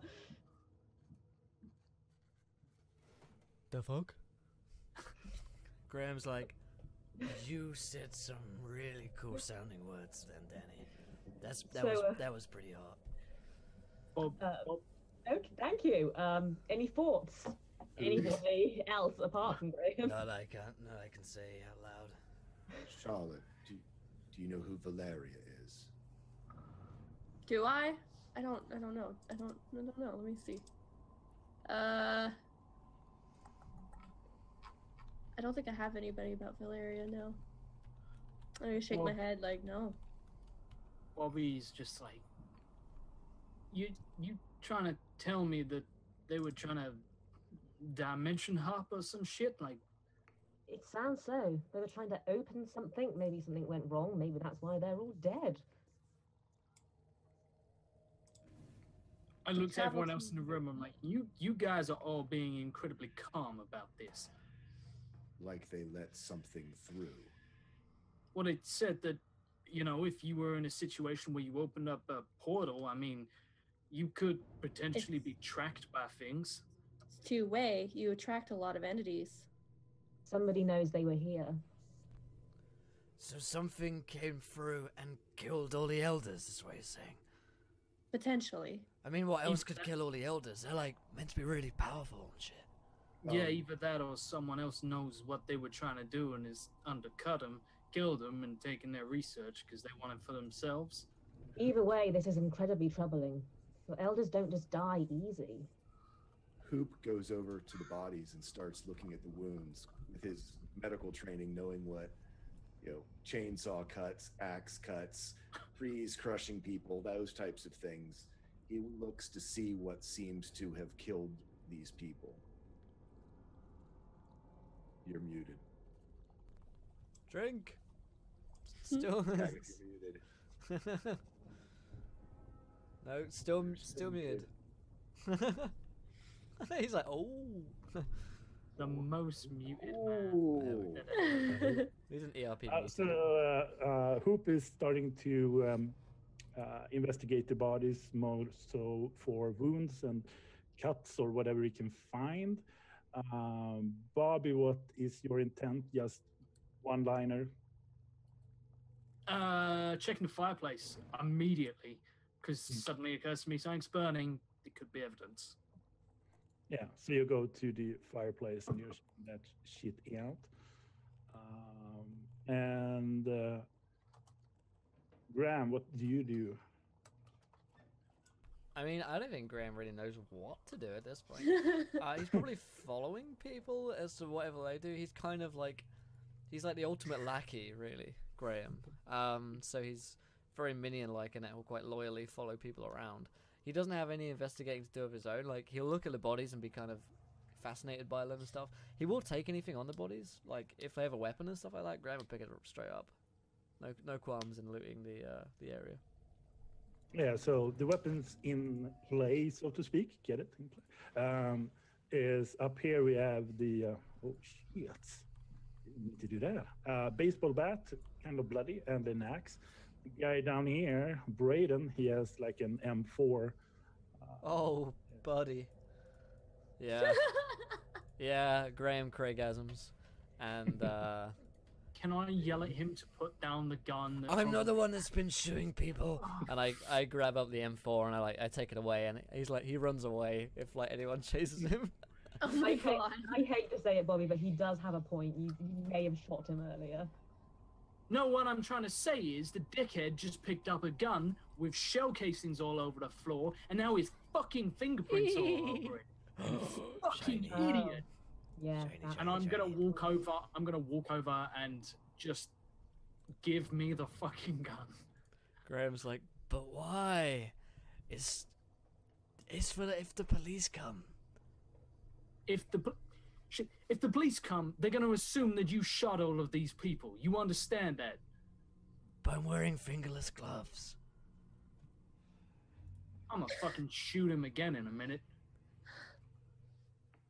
Give me the gun, or I swear by all that is holy in this fucking land that I will do things to you that will make the devil blush. Uh, I don't know what that means. I hand over the gun. But I guess such a big deal. Bobby gets the gun. Uh oh. Fuck my life. Outside. I said the police would come. I'm, Yes, I'm give me the gonna. Gun. now your fingerprints are also on the gun. Yeah, I'm gonna wipe the gun down. Funnily enough, I was a cop.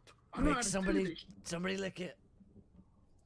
So I'm gonna quickly uh, wipe the handle, wipe uh, the the barrel, and everything, and then grab whoever the M4 was being carried by. I'm gonna wrap their hand around it, uh, so their fingerprints are once again on it, and then I'm going to uh, holster my my my revolver and walk out, hands in the air, because this is gonna look really bad.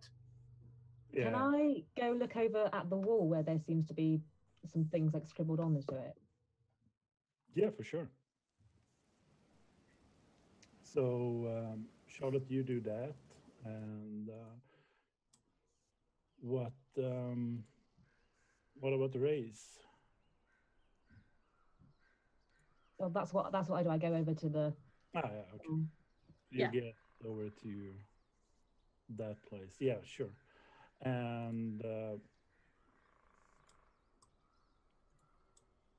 we get uh, Bobby coming out, I guess, like this.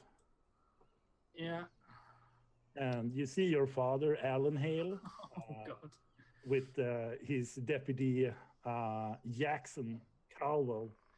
And uh, you know that Jackson, he's like a really stiff kind of the, the new breed, the, the, the young kind of. Um, I hate him. yeah, you probably are.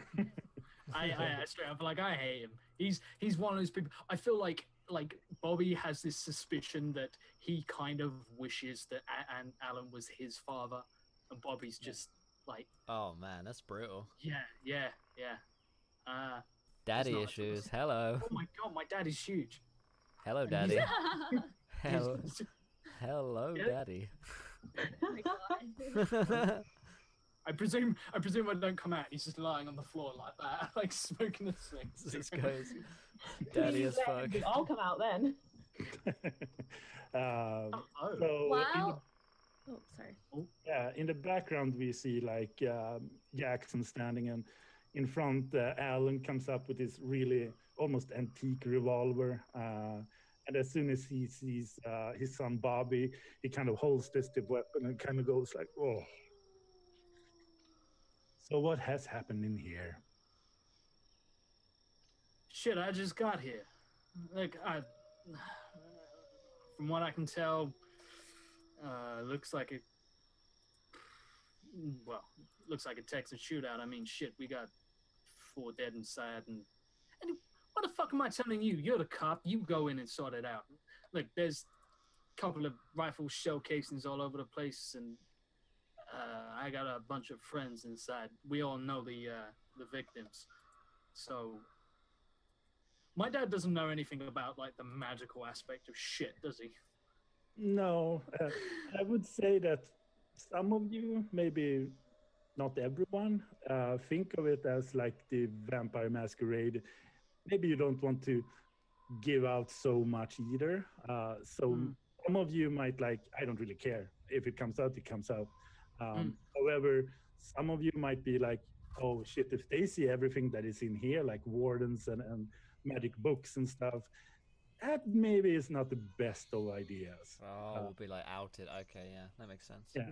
Bob, Bobby's Bobby's gonna point out. He says, "Look, Dad, these these guys been, I mean, on some pretty heavy stuff. I mean, you know what they're like. They live out in the wilderness. I don't know if you like know. Uh, Graham comes out to confirm this. oh Christ! like I'm like, you know, the hippie bunch who live out this way. You know, uh, oh shit, what what was her name? Uh, and I I Darlene? turned around, Darlene. That's the one. Shit, yeah, Darlene. Well, you know, she smokes some pretty heavy shit. So uh, It's pretty good stuff. got some weird uh, ass stuff laying all over the place. I don't know what half of it is. Uh, So the problem is here, and, and you see Jackson standing with his hip, with his kind of shotgun on the hip, smoking a cigarette and looking through his big kind of police shades, standing all tough and all. But it's kind of Mm. coming to a little bit after lunchtime, I would say. but it's standing there with his uh, hat and everything. Yeah. Looks like a dickhead. Yeah. Yeah, I get it. Yeah, yeah. Um, and um, Alan kind of. Um, mm. the, the problem is that I don't like to write as much as as, as uh, uh, this, whatever it is. Preach it, brother. And he looks over at Graham. Um, Bobby, my dear son, my everything. Can't you just make this go away? I can se- I can set up a a, a um a car for the bodies or whatever, but I don't really want to see anything. I just want to I want to turn the page. That's what I want to do. I want to turn Oh. the page. So what, what exactly you're saying is basically these bunch ain't exactly the n- most normal of folk, and because of that, you know, their murders probably ain't worth investigating. Yeah, no, f- fucking fantastic, amazing police work, Dad. Yeah, why don't you, why don't you and your uh, your new son over there give yourself a nice round of applause and fuck off? And Bobby walks back inside because he's oh, is this here? This is ongoing. Like him and his dad, like his dad Yeah. tries, but he's just such a dick. Did uh, Hoop hear all that? Yeah, yeah. It's open doors. Um, so I'm gonna can I I'm gonna use a perk. Can I use a perk? yeah, you can do whatever you want. It's a role Um, play, oh. man. I'm going to use my local hero perk, and I'm going to sort of come out and uh, from my uh, you know taking the uh, taking the team all the way to state in the basketball uh, back at when I was in in school, and sort of I, I come out and sort of put my arm around uh, what's your dad's name? Uh, Bob, not Bob. Alan. Alan. Alan. I sort of put my arm around Alan. I'll make sure it gets taken care of. Don't you worry about it. We got this And you see that uh, Alan is kind of distraught. Uh, I, I try. You know, Hoop, I really, really try. But that, that son is like useless. And he kind of whispers. I, I I'm- I'm- Can I, can I can I roll to see if I hear that? You can go for a perception if you are that triggered, if you want to. Oh, oh yeah, he's gonna start some shit. You best Oh, know. Triggered. yeah. So what you're gonna do is you're gonna roll on perception. Uh, Mhm. Are you so triggered that you're really kind of eyeing your father until he leaves, or Oh yeah, oh yeah. yeah, yeah. Go for perception, and when you click on it, it's gonna ask you something, right? Number of advantage slash Yeah, disadvantage. Yeah. Put put a one in there, and then put advantage. Okay, uh, so it is one advantage. Uh, that's a twenty-two because I have Yeah. a good perception. So how Open Legend kind of works is that you, without any uh, extra ability points, you roll at least a d20, and what it can do is explode, which means is if you hit that uh, nat 20, you keep the 20 and you roll again. Uh, in this case, uh, you rolled nine, and with the advantage is pretty much the same as uh, Where you kind of roll and pick the better kind of dice pool. And in this case, um, if you're doing something really, really simple, um, let's say you're gonna jump a little bit uh, like a step. Uh, that is like a, a difficulty of five. Um, if you want to do like a little bit more, like um, let's say medium task, that could be somewhere about 10, maybe 15, you know, something. A really hard one would be kind of up towards 20. So I Enjoy would say your in this stay. circumstance that your um, difficult level to hit over, great or over, uh, is about 20 or something. So you're standing by the window, kind of eyeing him all fumed up. Um, Mm. you, you're pulling up the window or opening it, the windows up a little bit, probably for kind of shouting something when he leaves. You see that um, Hoop comes up, uh, puts his arm, his arm around. You hear the conversation, and as uh, Hoop listens to the conversation given by Alan, your father, uh, he kind of turns a little bit, which make Alan's uh, voice kind of bounce back, and you can see his uh, lips and understand what he says about calling you useless. Uh, but he means it like more degrading, of course, like useless, kind of like i- it is not like he's just useless. That is more like, yeah, he can't do for shit. But this is like, I am embarrassed useless. So Yeah. Oh, okay, yeah. Basically, Bobby Bobby is, is gonna try not to rise to it, um, but he's not going to resist the urge to yell out, uh, "Dad, you know maybe uh, you should stop trying to collect other surrogate children and fuck off." And then I'm gonna walk inside and start piling up the bodies before I add to the pile. So Hoop, just don't pay him any mind. We'll, we've got this taken care of. yeah, and, and Alan kind of nods. You head on back to town, and we'll uh, you'll never hear this again. Yeah. Um, Damn should it. I send a call for this? Josh, your southern accent is kicking into my like natural southern accent, and And Alan asked, um, Hoop, uh, do you want a car? Do, do you take care of this altogether? I got some tarps in the back of my truck. Uh, I'll just line it up real good. You'll never see anything of this again. He kind of nods. Yeah, I didn't need this. I- I- I- you know, it's election day, and uh, oh, such a mess. And he kind of walks off. This guy. So while have this is all happening, phone. Happening, could um Charlotte have been looking around for Darlene's phone? Yeah, yeah.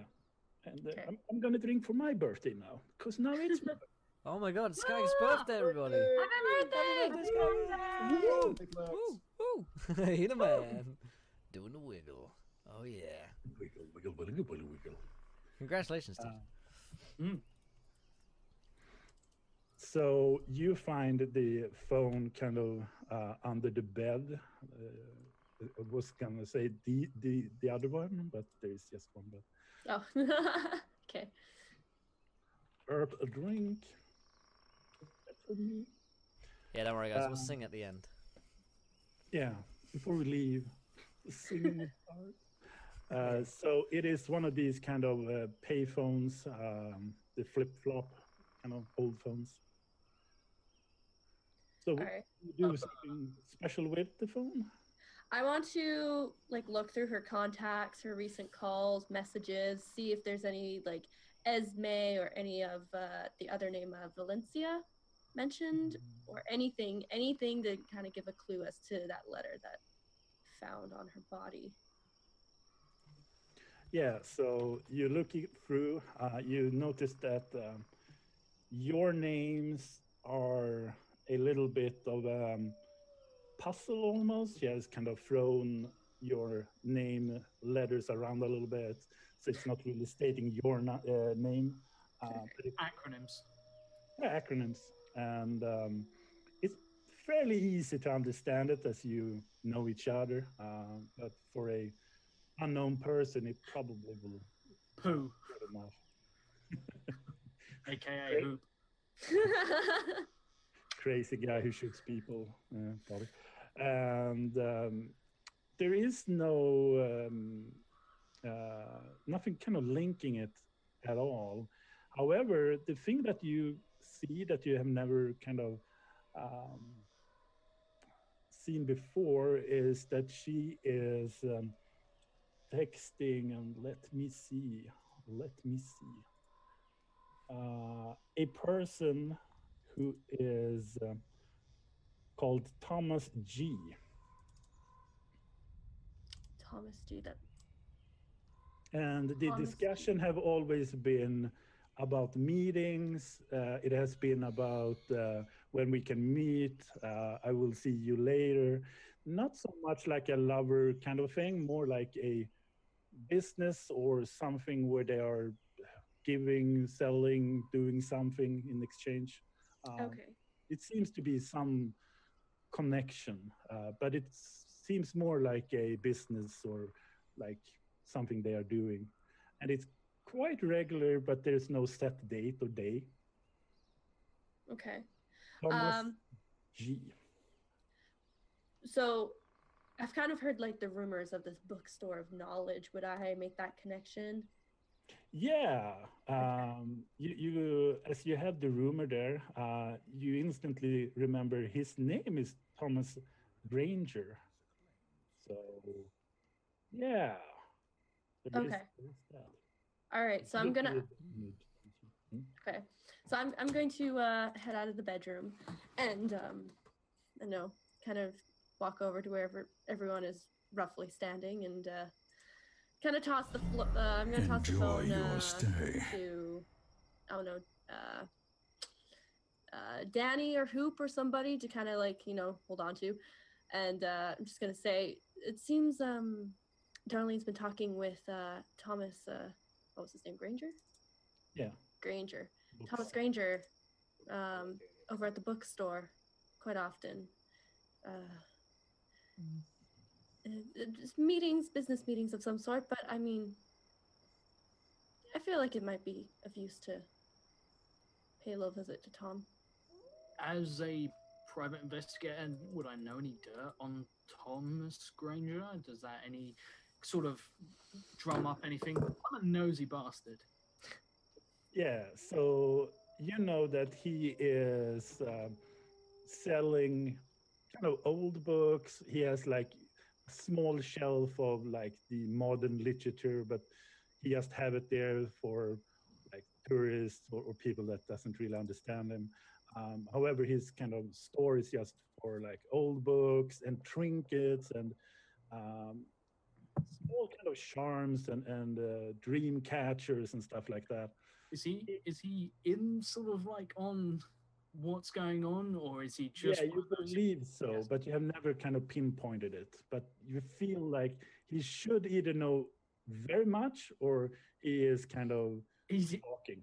he's either yeah. So basically, he's either like a crazy person who's actually just onto it, or he is onto it and looks like a crazy person.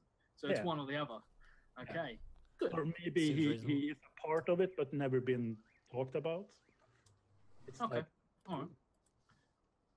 To me, uh, like Bobby says, I mean, that guy's always been a bit weird. I mean, a lot of old dusty books and shit, and I know how much the elders love books, and I just just Mhm. like some of the books around the place, and I say he sells all sorts of trinkets and oddities. I mean, Yeah, I mean, they had to get books from somewhere, right? Well, rumor has it too that he's got some, some possibly really really good books in the back, lots of knowledge. Like anime. no, Manga idiot, stuff. probably no, no. Shut up. Look, he's. pr- So you you reckon maybe this is how they found out like how to do whatever the fuck it was they were trying to do here? I, I don't know, but I mean, we can surely look for something. Uh, well, before we do, We gotta deal noticed- with this. yeah, and also like I'm gonna point. So having sort of cleared the room, I know that there's a couple of things. A, there's like a sigil on the floor here, underneath whoever that is who died in the bedroom. Uh, as, as is that Esme or That's Darlene. Darlene? That's Darlene. So Darlene is currently uh, pooling blood all over. Is that r- drawn in blood? Because that's dark red. I don't know if that's just coincidence. Yeah, so when you are kind of uh, moving a little bit more, so making it a um, little bit of investigation over that area, um, you see that there is actually a warden there. Uh, you are not so well known with wardens, but we have one that Hmm. is. Yeah, no wardens. I'm good at I'm good at the hurting people aspect. I'm less good at the figuring shit out. I also want to thank Which Ratchetsphere, the pimp, for the four month subscription. Thank you, my friend, a gentleman, a scholar, and of course, a pimp of the highest order. Thank you, my friend. Welcome back. Did somebody So- say wardens? Ah, wardens No. don't sound good. No, no. Would you would you like me to say wardens? Yeah. If if only we had a warden here who could shed some light on whatever the f- Like What a prison. coincidence! I happen to be a warden. Oh, I shit. shoot I shoot you in the leg. There you I are. leave. Roll a- End roll a of this. d5. I leave. So we see that uh, Danny um, kind of looks over the warden, and it is a word that you have not really uh, used you have seen it in other kind of drawings. Um, as it is, a spell book is uh, something where you collect your own thoughts and kind of procedures to do stuff. However, when you are starting to write it down, you do it so that it kind of binds it to yourself. So you can't share your own uh, spell book to each other, and you can't really show people this is how you do it because it's kind of bind to you, it's bound to you. Um, so you have never seen it being in any spell book, of course, but you have seen the drawings and kind of explain uh, explain to it all. And what it is is basically a summon where you are, uh, let's say you're opening a rift or you're opening something up for either prying through or uh, something uh, light. It's not a teleport or move, but it is something for opening for sure. Mm. I. Oh, sorry. Nope. Okay. I just realized I have a summon spell book, which is my spell book, and I can summon. Um, for the low potency spells, I can contact dead spirits if their death have been within the hour. so has it been within the hour? If we had done this last hour, Kira, maybe maybe they would have been. I didn't realize it Yeah, just no. now. It's one Um, hour and one minute. One minute, yeah. It's like the countdown clock just going like. But also with that, would I carried the components needed for it on me too, though. I was gonna say some of those spellbook things take forever. Mm, mine do. yeah, mine. One of mine takes like ten minutes, uh, thirty minutes to cast. Yeah, I think that is overall the same. Uh, but that Yeah. is if you're doing the ritual. However, you can, if you're looking at the homebrew rules there, you Oh. can throw it in the, the round and everything, but you will get disadvantage when you do so. Um, if you're taking it in the scene, maybe not really rushing it. Um, so what you could do, I would believe that you have the components with you. I mean, that's what everybody do. Okay, yeah.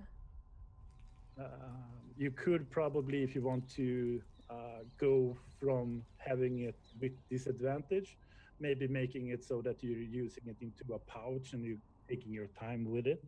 Um, and with a little bit help from Enjoy like, your stay. I know the others, you get the information that they are uh, probably under the one hour for some of them. Uh, some of them are.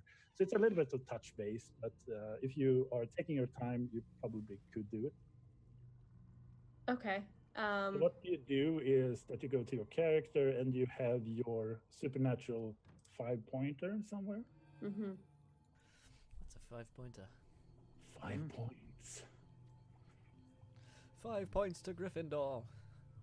Oh dear. Oh, So then I would just I would cast that depending and then depending on if I was to do a pouch. yeah. So uh, Or you would scene. have a five point in your spell book, correspond to spell book. So you just roll that and just flat out, you don't have a disadvantage advantage. Okay. Okay, okay. Um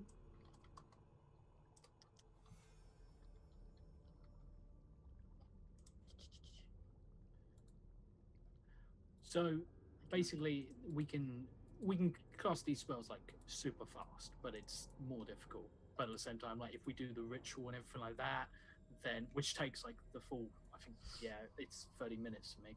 Uh, then that actually gives us advantage, and sort of so it's balancing it up. Like if you need Yeah. to just pop something off on a on a fly. Yeah. So we So- do a ritual. Sounds cool.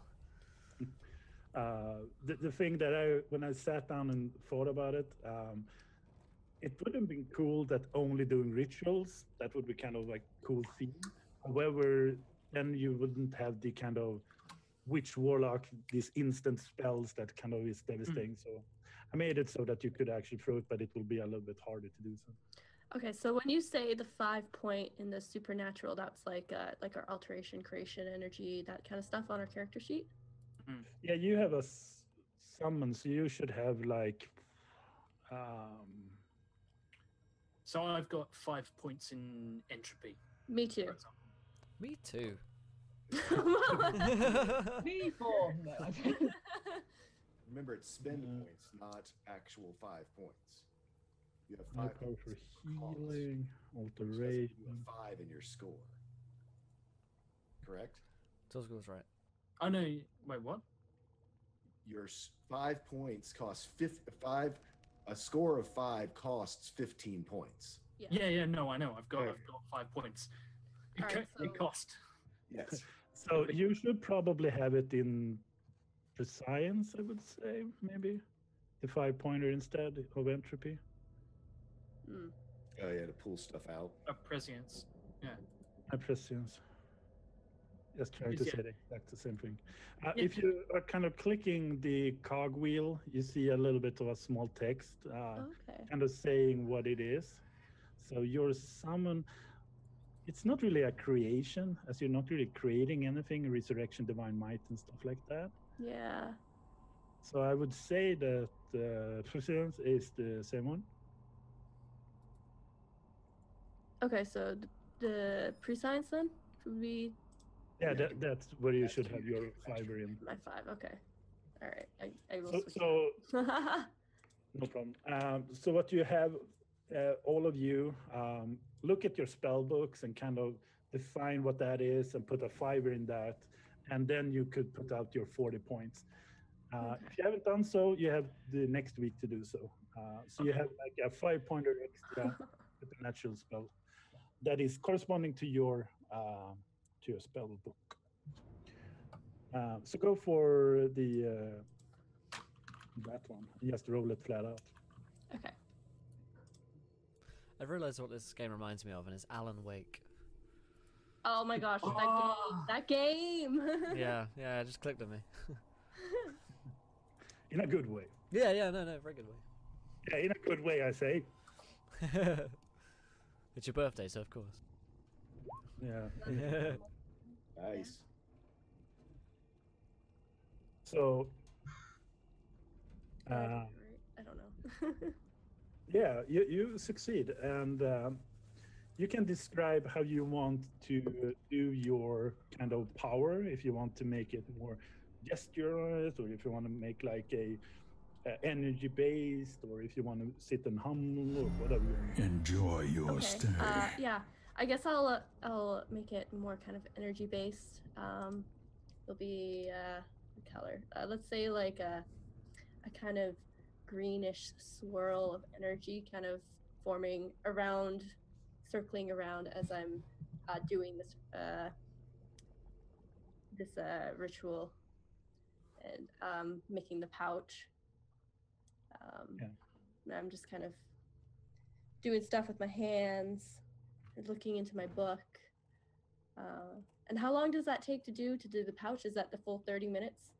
No, no, no. So doing a pouch for the uh, um, no advantage disadvantage uh, doesn't really take that long. So I would say like a couple of minutes at max. So you do that for for a while, um, and you infuse it with your energy. You put in some of the uh, components, a little bit of dirt. Uh, a broken candle or something like that and you Yeah. make the pouch and you kind of um, uh, make the spell go in.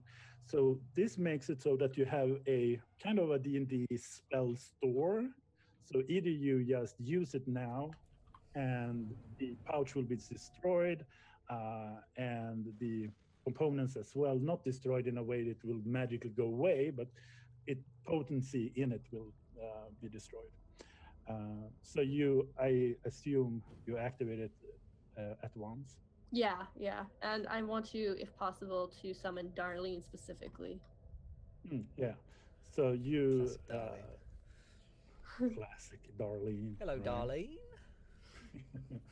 so you sense a couple of different uh, um, energies flying around in the area, um, and you know which kind of uh, trail you need to kind of uh, take and, and, and bring back. And you see, you sense this uh, trail of Darlene as she is not really passed over to whatever it is. You have never really delved into that at this point, but uh, you know that uh, they are still here. So you do that, and let's see if. Uh, yeah, she's a very little. Come on, darling. Da, da, da, da, da. Da-da-da-da-da. So she appears, and here is up to you. Do you want it to be uh, a voice that comes through, or do you want it to be like a materialized shape, a ghost shape? Um, can she only communicate to me specifically? It's up to you. It- Okay. It's your magic book. It's your spell book. So Okay, I want I want her to materialize so she can kind of like communicate so that everyone can kind of hear it. What she what's going on? What happened? Yeah, so she is uh, kind of boom up her a little bit so you can see. Um, Oh shit! oh my so she is uh, well over uh, like 50. I would probably say she's uh, well over 60 too. Um, she is doing something uh, to keep her youth. Um, and she is like the most Swedish, uh, Swedish, sweetest um, woman you have ever met. The most Swedish. Swedish So sweet, ever. sweetest woman. the She's most- just talking and no one understands her. Yeah. And uh, is she really materialized as her own or just a shadow of her or I guess probably just a shadow of her. yeah. So you get the presence, but you can't really make any um, distinctive features, but you you all sense that uh, that is Darlene Wheeler. Uh, who I- comes in and, and listen to that uh, encounter? Uh, I Bobby has a gun on her pretty much instantly because he's still kind of creeped out by all this stuff. He doesn't have like most of his abilities are actually quite. He doesn't have like any cool abilities to reach out and touch the other side. All of his are like causing fear and making it easier for him to shoot people. So like this just weirds him out every time he sees it, and uh, he mutters something and sort of hangs by the doorway, very uncomfortable. Yeah. All right. Annie too looks quite concerned because she's not necessarily entirely sure what sort of powers brought this dead person back to speak to us, and she's she's not very keen on kind of the darkness kind of size of things. So she's also kind of hanging back a bit wary. I think Hoop is I'm- Hoop is on mission. Uh, you know, he's been putting the tarp in the back of the truck. He's been picking up bodies. I mean, I don't know unless she did the body for the ritual, unless that was part of it. He's picking up bodies, looking again like he was looking to look and see what killed people. You know, was it bullets? Was it claws? Was it weird interdimensional forces? So he's he's literally stacking bodies like cordwood in the back of his truck. Can I can I rec- Hmm, Tars, one, hmm. ca- can I retcon my action and be helping Hoop? Because I'd rather I'd rather be helping Hoop to be completely honest. Sounded manlier. I like what he said. I'm gonna do that. okay. Um, I'm gonna kind of whoever's still around and kind Gra- like, Graham's around. startled. He's like watching in fascination. Like she's Yeah. a I'm dead chick, but she's totally here. And Graham, like he's he's gone for a bit of a gothic phase before, so he's digging this chick, even though she's like 60. so in the scene, kind of uh, whatever you want to note down, if any, uh, is Graham, and it is uh, Charlotte and uh, and Danny, then of Mhm. course. Yeah. So uh, you three are standing in. Can I move really. I effed the scene up with not sending everything in the background. However, you're standing in the the small bedroom, and she kind of comes up, uh, and her voice is uh, not her own. It is uh, a voice of a very manly, wonderful man. Um, no, so A the- the voice- if you will.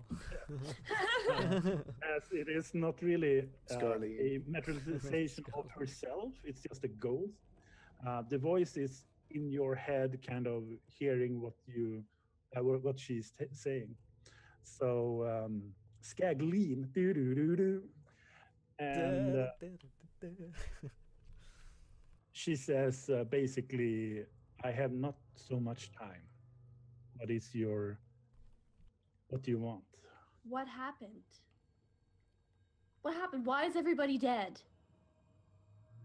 There were uh, question. three people coming in with the guns and shooting.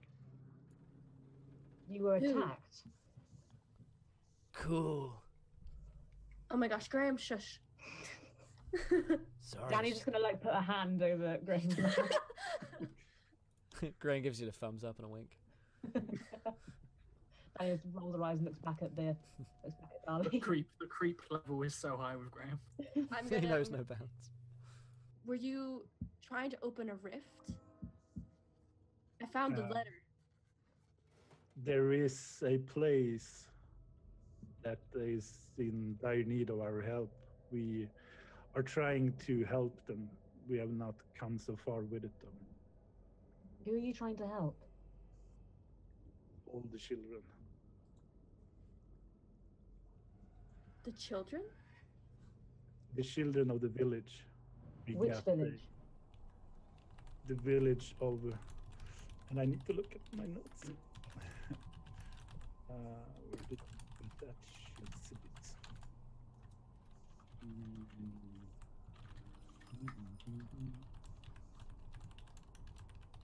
No, no, no, no, no, no, no. Should be in here. Okay. Graham's like, Elir. How do you spell that? Lear. Elir. Um, I Like can't. King Lear. Yeah, but with Silly. E. Graham's like muffled, muffled, speaking into the hand. Like, How do you spell that? Elir, okay. Your hand is soft too. So then how Danny's gonna glare at him. so much. so what exactly is happening in this village that the children are, are at risk of? There is a plague coming upon them. A They- plague. Uh, their uh, parents have died. We cannot see how our next mission was to either get them here or if we could provide help there. Who would want to stop you from helping defenseless children? I'm not really seeing the connection. Maybe something else happened. In the in the letter that you had, it said that when a rift is opened, there's a chance that someone else might know what's going on, might know that you're there. Is there anybody that has a grudge against you guys? Anybody that would want to kill you if they think you're trying to open something? Yeah, Braden said something about hunters Hunters. before he died. Hunters. Witch hunters? Maybe. Cool. Oh I mean, shit! cool. Oh shit. That's not cool. That's definitely not cool. No. That's like the opposite of cool. By the way, if like Graham's hand is like, if the hand is on Graham, like he totally like licks it and bites it until it goes. He does that It's thing. immediately gone. That hand is straight away gone. she kind of like wipes it on her like trousers and just glares at you again. he giggles. So he's, Yeah. what she's saying is someone came, killed all the witches, and now there's like witch hunters out to come get us.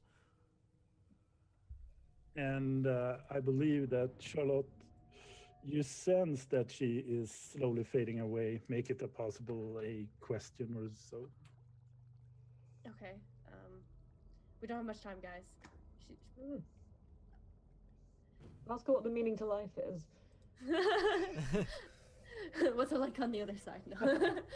um, do you know where they went? Did they go back through the rift, or, or are they over on our side? The hunters drove off with a heavy vehicle. Drove off. They're here. They're here. Vehicle, we can we can look for tracks. This Yes, is great news. yeah. This is fantastic news. There's witch hunters around, guys. Great. Are we This gonna are we gonna Last run away question. from them? Okay. Last question: Do they know? Do they know that there are other, other witches and warlocks part of this hive, or did they think you were the only ones? and uh, the uh, the sense that you get is um, immense warmth, almost like um, when a mother kind of shields her own uh, baby from harm when she says, uh, "I hope not, but I don't think so," and she kind of fades away. Senpai. Oh shit. That's good. They don't know we're here. So that means that we should go. We look at their tracks and we go the opposite way from the one which they went, right? We can't run away from everything forever, Graham. This will catch up with us eventually. But what about for this weekend? We go back to my house and we just like lay low and chill. Maybe you know, find some stuff. Any other ideas, anyone? Any idea? Any guess- idea that's not that? So, I mean, uh, uh, Hoop. I mean, as he was looking at bodies and tossing stuff uh, and tossing them in the back of the truck. Um, I mean, did he overhear some of this? Have we regathered? Um, what has happened basically is that um, there are a couple of things that um, you who kind of collected throughout. Uh, there are actually two things which is in your inventory. Uh, you you heard the last part, and Bobby kind of uh, found something too, which is kind of mind bobbling about and, and what the heck. So Enjoy you your guys can look stay. it through, and you, uh, Graham, and the rest, uh, Charlotte and Danny, you stand there talking a little bit about they are still here and they are still kind of um, in our own presence somewhere or uh, our kind of new nemesis. So we're wondering now is there a way of us to either track it, hide, or doing ourselves like a 45, whatever? That is the discussion now. Um, and what you guys see is that both uh, Hoop, for certain, is done with his tarping and heavy lifting. So he, uh, I guess you have put it in your truck, uh, on your truck's back. Yeah, basically, I've put I've put four bodies in the back of my truck. They're you know on top of a tarp that's now wrapped around them. As we're doing it, and Bobby decides to come help at the you know along the way, I, I look at him and go, "See, uh, no problem with helping your surrogate, surrogate brother now, huh?" And uh, walks Just- back. Bob, Bob was just like, I ain't got no problem with you. It's him who's got some fucking years to make up for, and it, yeah, like he's he doesn't mind hoop. He just his dad's an asshole. Uh, And uh, I, did we did we hear them about the, the tracks? Or are Mhm. we heading back in? Who knows about the tracks because who found them. I was gonna say uh, I, Hmm. tracks are right over there. So so Graham says, "Okay, guys, say my ideas are all terrible.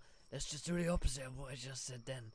So instead of going away from them, we follow them." But the thing, the thing is, is that the elders, they couldn't stand a chance against these hunters. What makes you think we can? We got because guns. they they clearly didn't know that it was gonna happen. I mean, Yeah. these guys all got caught off guard. I mean, shit, they didn't even make it out the house. But you don't understand. They got wrecked. They're still the most much powerful power they people in had. This hive. Exactly. I pick up the M4 now Like it's like okay for me to have it again. They weren't I- ready. I've got a gun. Can I? I'm Oh, sorry. no, I, I'm I'm just gonna hold up to, like, as you know, basically Bobby Bobby's gonna go and inspect something real quick. Can um can I see if I can try and do a quick like cleansing ritual around the area, as like a goodbye, I guess, to the elders. Yeah, yeah, for sure. That would probably be a good idea, actually. 'cause that's uh, so cleansing rituals are basically what the hive does to get rid of the Get rid of- negative yeah. energy and all that badness. Mm. Whilst you're doing that, I want to bring over I've found a thing, which has Bobby a little worried. Um, Skag, would I be able to tell that this is something that is more because the first thing that mi- comes to mind with me is uh, this is potentially police issue. If it's Uh, it's for beyond out, police. Uh, it's beyond police issue. This is like Yeah, I was really special, worried you were going to say that. Yeah. Cool. So I come back with holding uh, what looks like a Uh, It looks almost like a wine cork, like like a wine stopper thing. Uh, it's twisted, gnarled up plastic with like these uh, six bits, and it looks like it's it's supposed to plug into something. And uh, he holds it up and says, "This is really bad news. This is, uh, I mean, this is fucking space age shit compared to what I mean. You know the gun store in town. Well, this is the Mm. that the gun store in a fucking military armory uses. I mean, these are, and he holds it up, and it's basically a 12 gauge shotgun rounds, but it fires like a, a, a big plug, and it flowers at the end, and they use them for ripping through big targets, wheels on vehicles, going through doors. This is a really nasty piece of hardware, and they they're just fucking flinging them around apparently. So whoever these guys are, they ain't fucking around. I mean, this is military hardware. This ain't civilian issue. I mean, even my dad can get hold of shit like this. So, who your could- exactly the hell are they? I don't think your dad could get hold of much. Not to, I mean, not to be a douche. So Skagath, with my uh, my dad, does he have as good a taste uh, in uh, in uh, the luxuries of life as what I found? Yeah, for sure. These are like, um, I believe a couple of hundred per pop or something like that. Do they? Does he smoke them? He puts it in his, Uh, smi- his pipe and smokes it. No, he, So he has similar, like a, uh, he doesn't smoke at all, but he has similar ones that he kind of Okay, gives away. because I probably wouldn't tell them if I thought it was implicating my dad. Yeah, you, you, you- you know the brand, but your father has a more exhibit than this one. So I believe this one is like fifty dollars per pop, and the ones that he has like is two hundred, maybe something like that. So But this is I pull out a cigar end and say, they have power and access, and they've got money. If you're throwing these around, and I show them the cigar end, uh, and leaving half of it on the ground in the woods, money's not an object. It's Throughout all of this, cigar Danny's just that's like you know a fifty dollar, fifty to seventy five dollar a pop cigar, usually sold individually only. Okay, I'm gonna I'm gonna check that real quick. Has this been stubbed out, or has this been dropped on the ground? We can find his DNA. I'm actually going to how, how it has been clipped, Mm. or what do you? No, I mean, I mean, basically, was this put out or Enjoy was your this dropped stay. while still lit? Uh, this one was uh, dropped down, still lit. Is it still hot? Yeah, it no, it's not hot. It's warm. I would say. Oh shit, we need to move.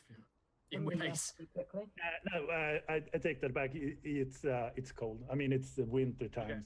Yeah, Yeah. okay. Yeah, But it's- if it's okay, so what's going through Bobby's mind is if this was dropped on the floor, there's a chance he hadn't finished it. We drive big ass trucks. If they heard us coming, then maybe he didn't just drop it for no reason. Maybe he did because he was in a hurry. So maybe we need to be in our cars right now and driving. Let's Um, follow the I- tracks. Can I quickly ask Skag? Um, so I'm, I'm looking at my tier three knowledge. Uh, the travel, the common rituals, is that the same travel as this? Uh, you Like- uh, no, the travel is basically teleporting. Okay, whereas this is actually like ripping into new planes kind of Yeah, thing. yeah. Okay. So that is Um, kind of just dimension jumping, and the travel is basically I'm, I need to do a set of spell here, and then I need to think about the place I want to go, and how good it turns out is a little bit vaguely, but you end up there. So teleporting, basically. Okay, and then the focus, the focus ritual. Could potentially we take like these um these shells and slash or the cigar and be able to track a target with it? Yeah. Potential, yeah. Okay. So I'm I'm gonna kind of turn to the No, group. you, you you need a living living uh, person for it, right? You need like a human or animal for focus. Oh wait, so so the cigar is like one of the dead. Yeah, it's not a living thing. But I Ah, mean, okay, I mean, okay, yeah. So we need something like maybe a lock of their hair or something like that. Okay, right. Okay, okay, okay. Uh, So we have two leads leading out of here. We have the tire tracks that lead to possibly where these hunters were that just annihilated all of our elders. And we also have this Tommy G, the bookstore owner that you mentioned. hmm. I'm not sure we're quite capable yet of dealing with these hunters. If there's any way we can prepare ourselves beforehand, I reckon maybe I mean, yeah, like Tommy's got books. Books make you clever. The elder had books, so maybe we should get some books too, so that when we see these guys, we've got some books and not just uh, guns. Books and I- guns. you, Danny's Skag, just gonna look at him like, Skag, you said there was a, like a big gun fi- fight that sort of played out here. Yeah. For for just just to prove Graham to make Graham's point, I'm gonna lift up a book that has a massive bullet hole that's gone straight through it and just say, "Yeah, yeah, no, I'm sure the knowledge will protect us." Hey, I it to one mean. I I point at Charlotte and say, she just summoned someone back from the dead with a book. I ain't talking shit about no books. he's got a point. He's got a point. Bobby, Don't forget, we don't, don't forget, we've got truckload of bodies that we've got to get rid of. Oh yeah, the bodies. True. I've And got a place you can dump them. got. I can take care of them. I just need time. No, seriously, you should you should keep them in my place. We've got a little place for bodies. I'm taking them up to the lumber site and grinding them into dust. Okay. Wow, That- you're so alpha. I, I- yeah, Grinding. Any objections to the uh, body grinding? I'm all Bobby's for it. Gonna go and help. Said I'm for it as well, though I, I do wish to have a sort of uh, goodbye. I know most of you guys haven't been part of the hive for a while, but Would my um, would I have uh, sorry would I have done the cleanse ritual by this stage? Yeah, you, you could probably be at the ending part where everybody has a possibility to send their goodbyes and Mhm. uh, whatever feeling or thought you want to leave, uh, you can leave it there and it will be a part of the cleanse and kind of go through. I leave Alright vengeance. I just leave some vengeance just lying around for their for the fallen. You go. you might need this you You might, later. you might need this where you're going. Yeah. I guess I kind of open up the tarp in the back of the truck to let Charlotte have her goodbye. I mean, I, I, I I'm at least a little bit respectful of that. I sort of pull it open and go, say what you need to say. Right. I'm I'm not gonna like say anything out loud. I'm just like staring staring kind of halfways on the ground. Like just thinking to myself, like, thank you for everything, blah blah blah. And then Great sermon, Kira. yeah. Thank you for Yeah, blah, blah, everything. blah, Blah blah. blah blah. Well, you know, you know. I'm not saying anything out loud, so it's just Thank you, God, just- for everything. And you know, yada yada yada, blah la la la la. okay, okay. I, I'm just like, I wouldn't have been able to find my powers without without their help. So I'm gonna kind of do the same, and but silently and kind of looking very quite troubled, sort of looking at the the bodies of the elders. Can I take Hoop to one side while that's going on? hmm Yeah, for sure. I look Hoop straight in the eye and say, "So you got much experience grinding up bodies in that fucking lumber mill?" Because that kind of piqued my interest as a private investigator. I grind lots of logs. They're just meat now. I said I'd take care of it for your dad, so I'm taking care of it. Uh, uh, would I? Uh, I'm gonna say Danny. I'm gonna say Danny. Uh, Mm. Danny, I'm gonna chuck you my keys to my truck. I'm gonna catch them. Take them. Go to the bookstore. Me and Hoop are gonna go grind. Some. that was the one. We're gonna go grind. Me and Hoop are gonna go grind. Which going down the gay club? Which goes... Thank God. You kids, you kids have fun. Gonna take you to a gay bar, gay bar. We're going to at that, wood man. Look at that. The wood chipper.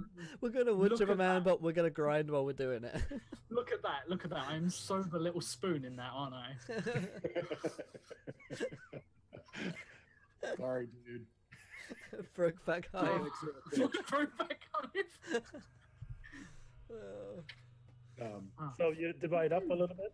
so actually, yeah, when, when I hear when Bobby stutters a little bit, I'm like, just like grinded deer meat.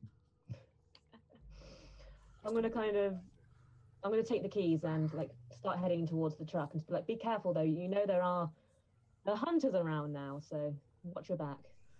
I should probably go with you. And I uh, look at Danny. You're a responsible adult, and my social worker is nowhere to be seen. I I gesture to the fact I'm still carrying a fucking pump action shotgun. I'm like, we'll be okay. Yeah, I've got my rifle and my big jack, my big old splitting wall axe. I mean, you've seen the shells that they've got. Don't go treading too harsh. I've got an M4 and I chuck it in the back of your truck. I y- y- actually, you know what? Get Ken, it's probably not a bad idea, but yeah, I'm gonna say I've we, worked these we, we mountains the last 20 years. Where I'm going, no one else is going. Oh god. I just read team. chat. I just read chat as well. I was like, As soon as you did that, I, you made me look, man. You made me, never, never make that mistake. Never look. Never look. Once So you roll a sanity check. So what we do Um, now is basically having the scene where you guys divide up a little bit.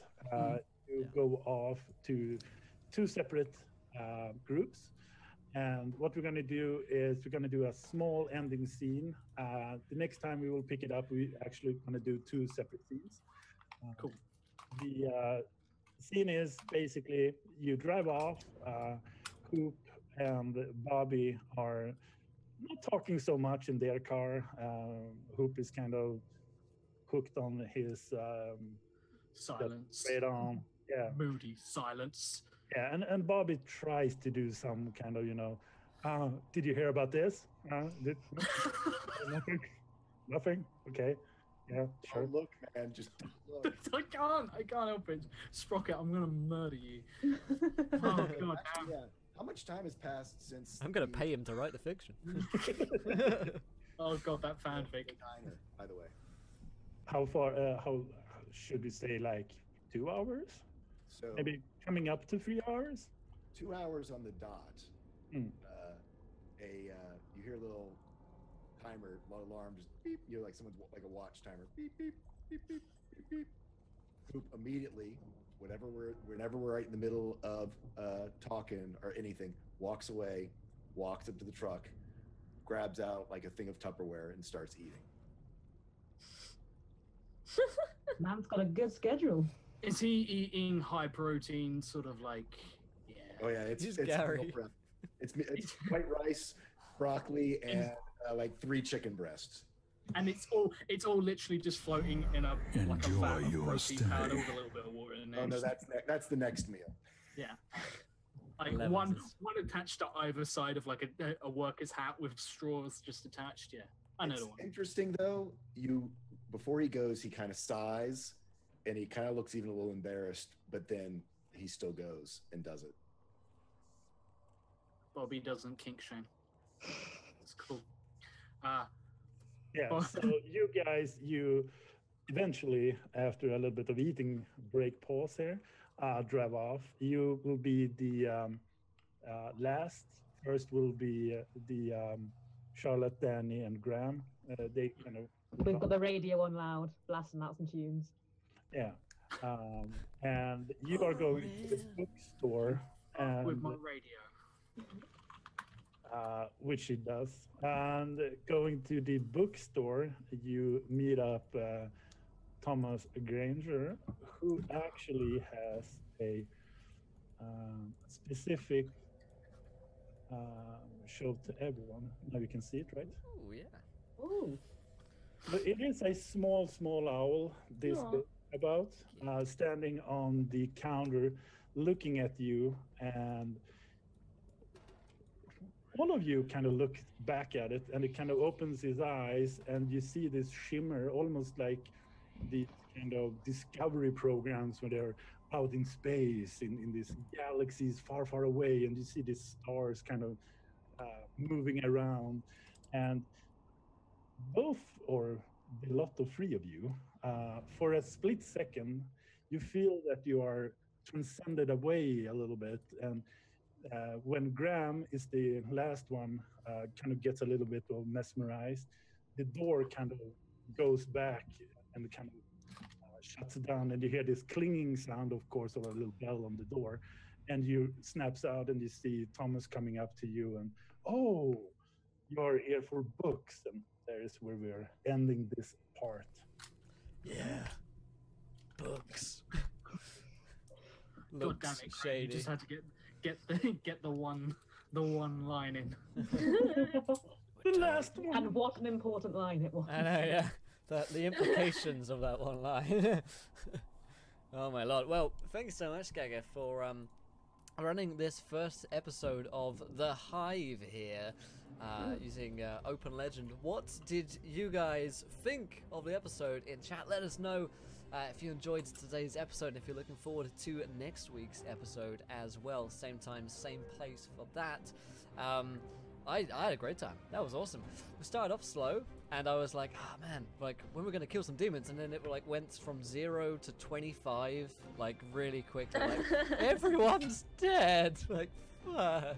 Yeah. So yeah, I really, I really, really enjoyed that. It was good, uh, some good tensiony stuff, and also, as is tradition, whenever anyone has a birthday, we we must sing an awful rendition of Happy Birthday for Skagif because it is his 21st birthday today. So, everybody, please get ready, get your clips out, your dongs out. Mm.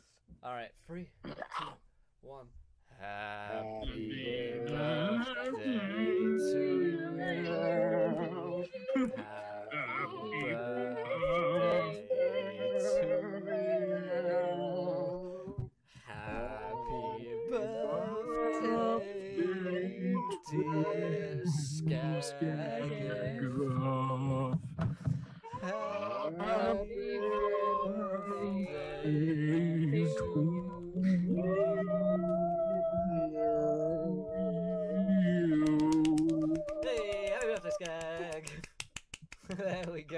Drinks in the chat for that rather rather rousing rendition, if I do say so myself, of uh, God.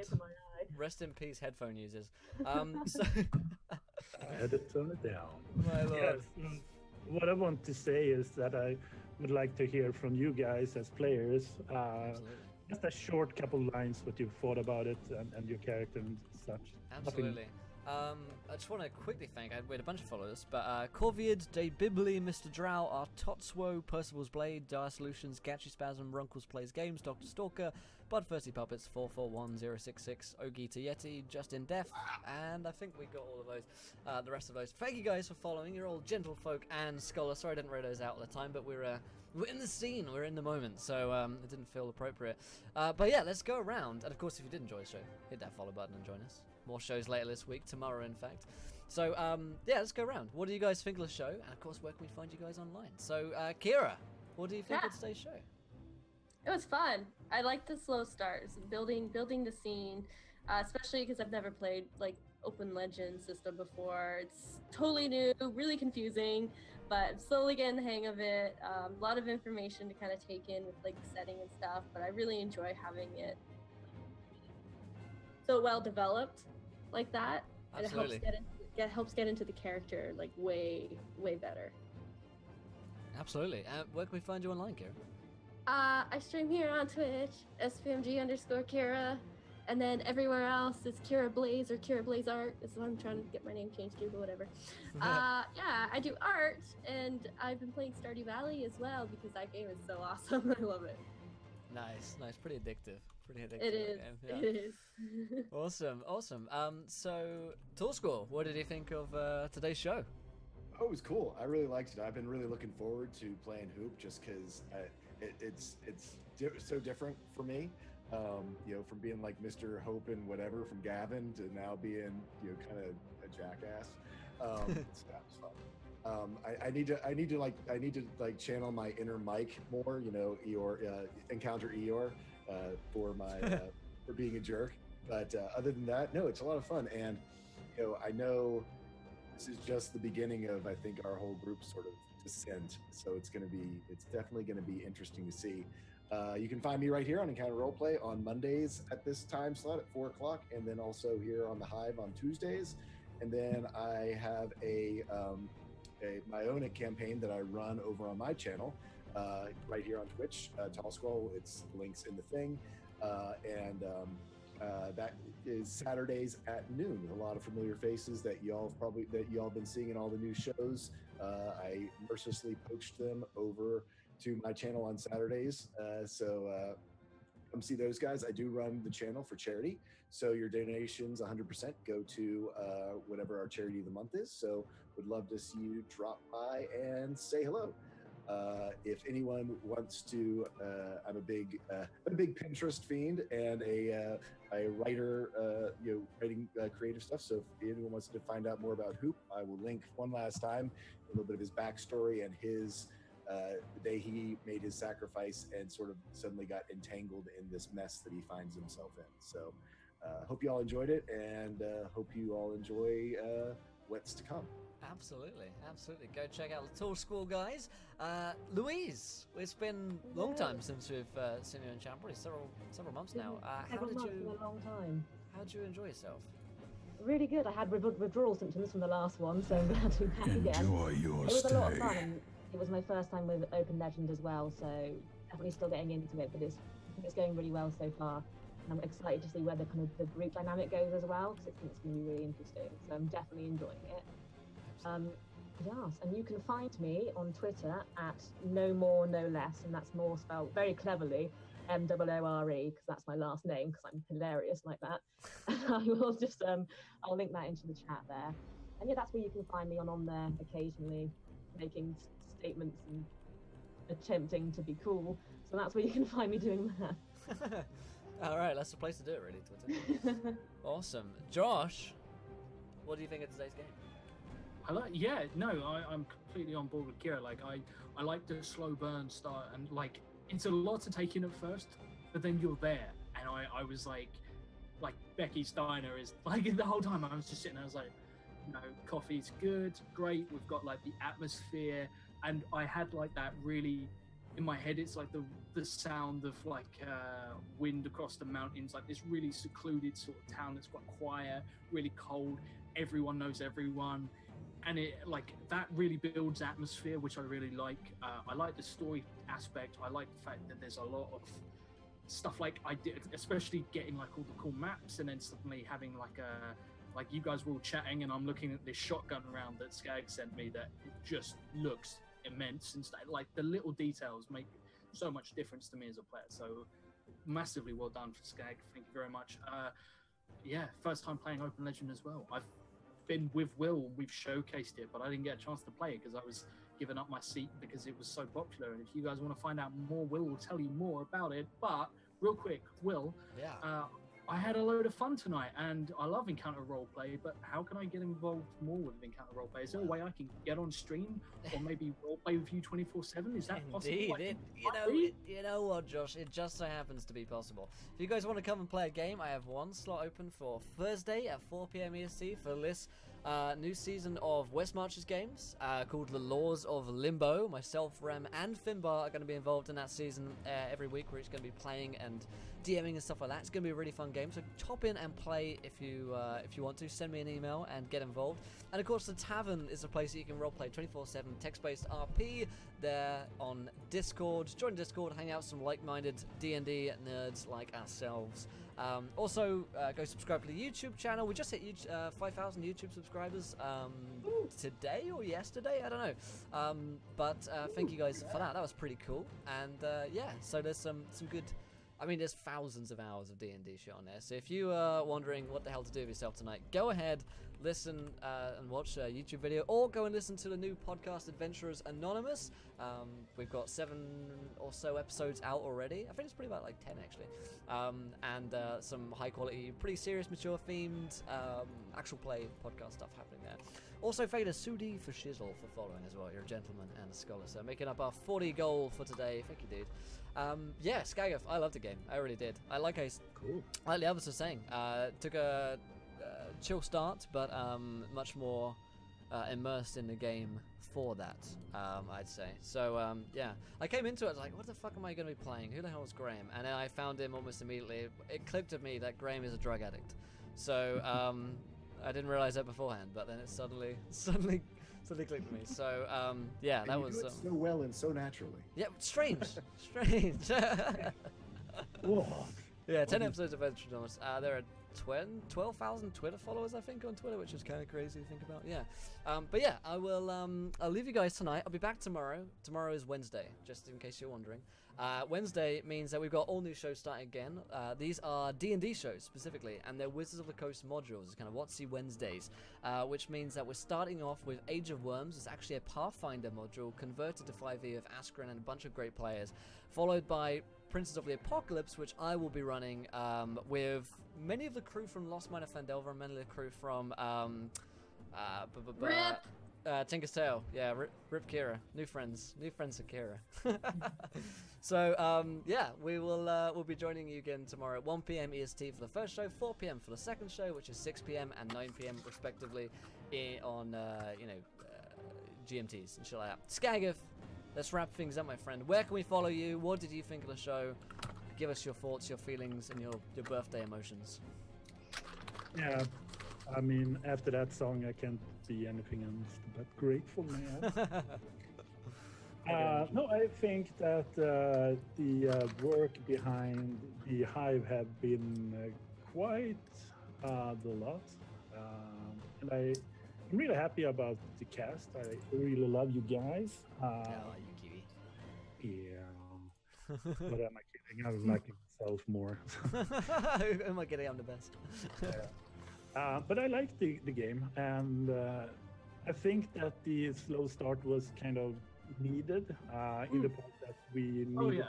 this kind of slow, just because no one was really uh, apart with the uh, Open Legends, so we needed Yeah. like a small getting used to it. And then I had the uh, set out for the scene and, and kind of so uh, what I will do is uh, tomorrow, if you follow me here on my channel, Skagas, you will have my own kind of debrief. If you are kind of interfering with uh, Will's adventures, you can always see the VOD of my brief, of course. Absolutely. Yeah.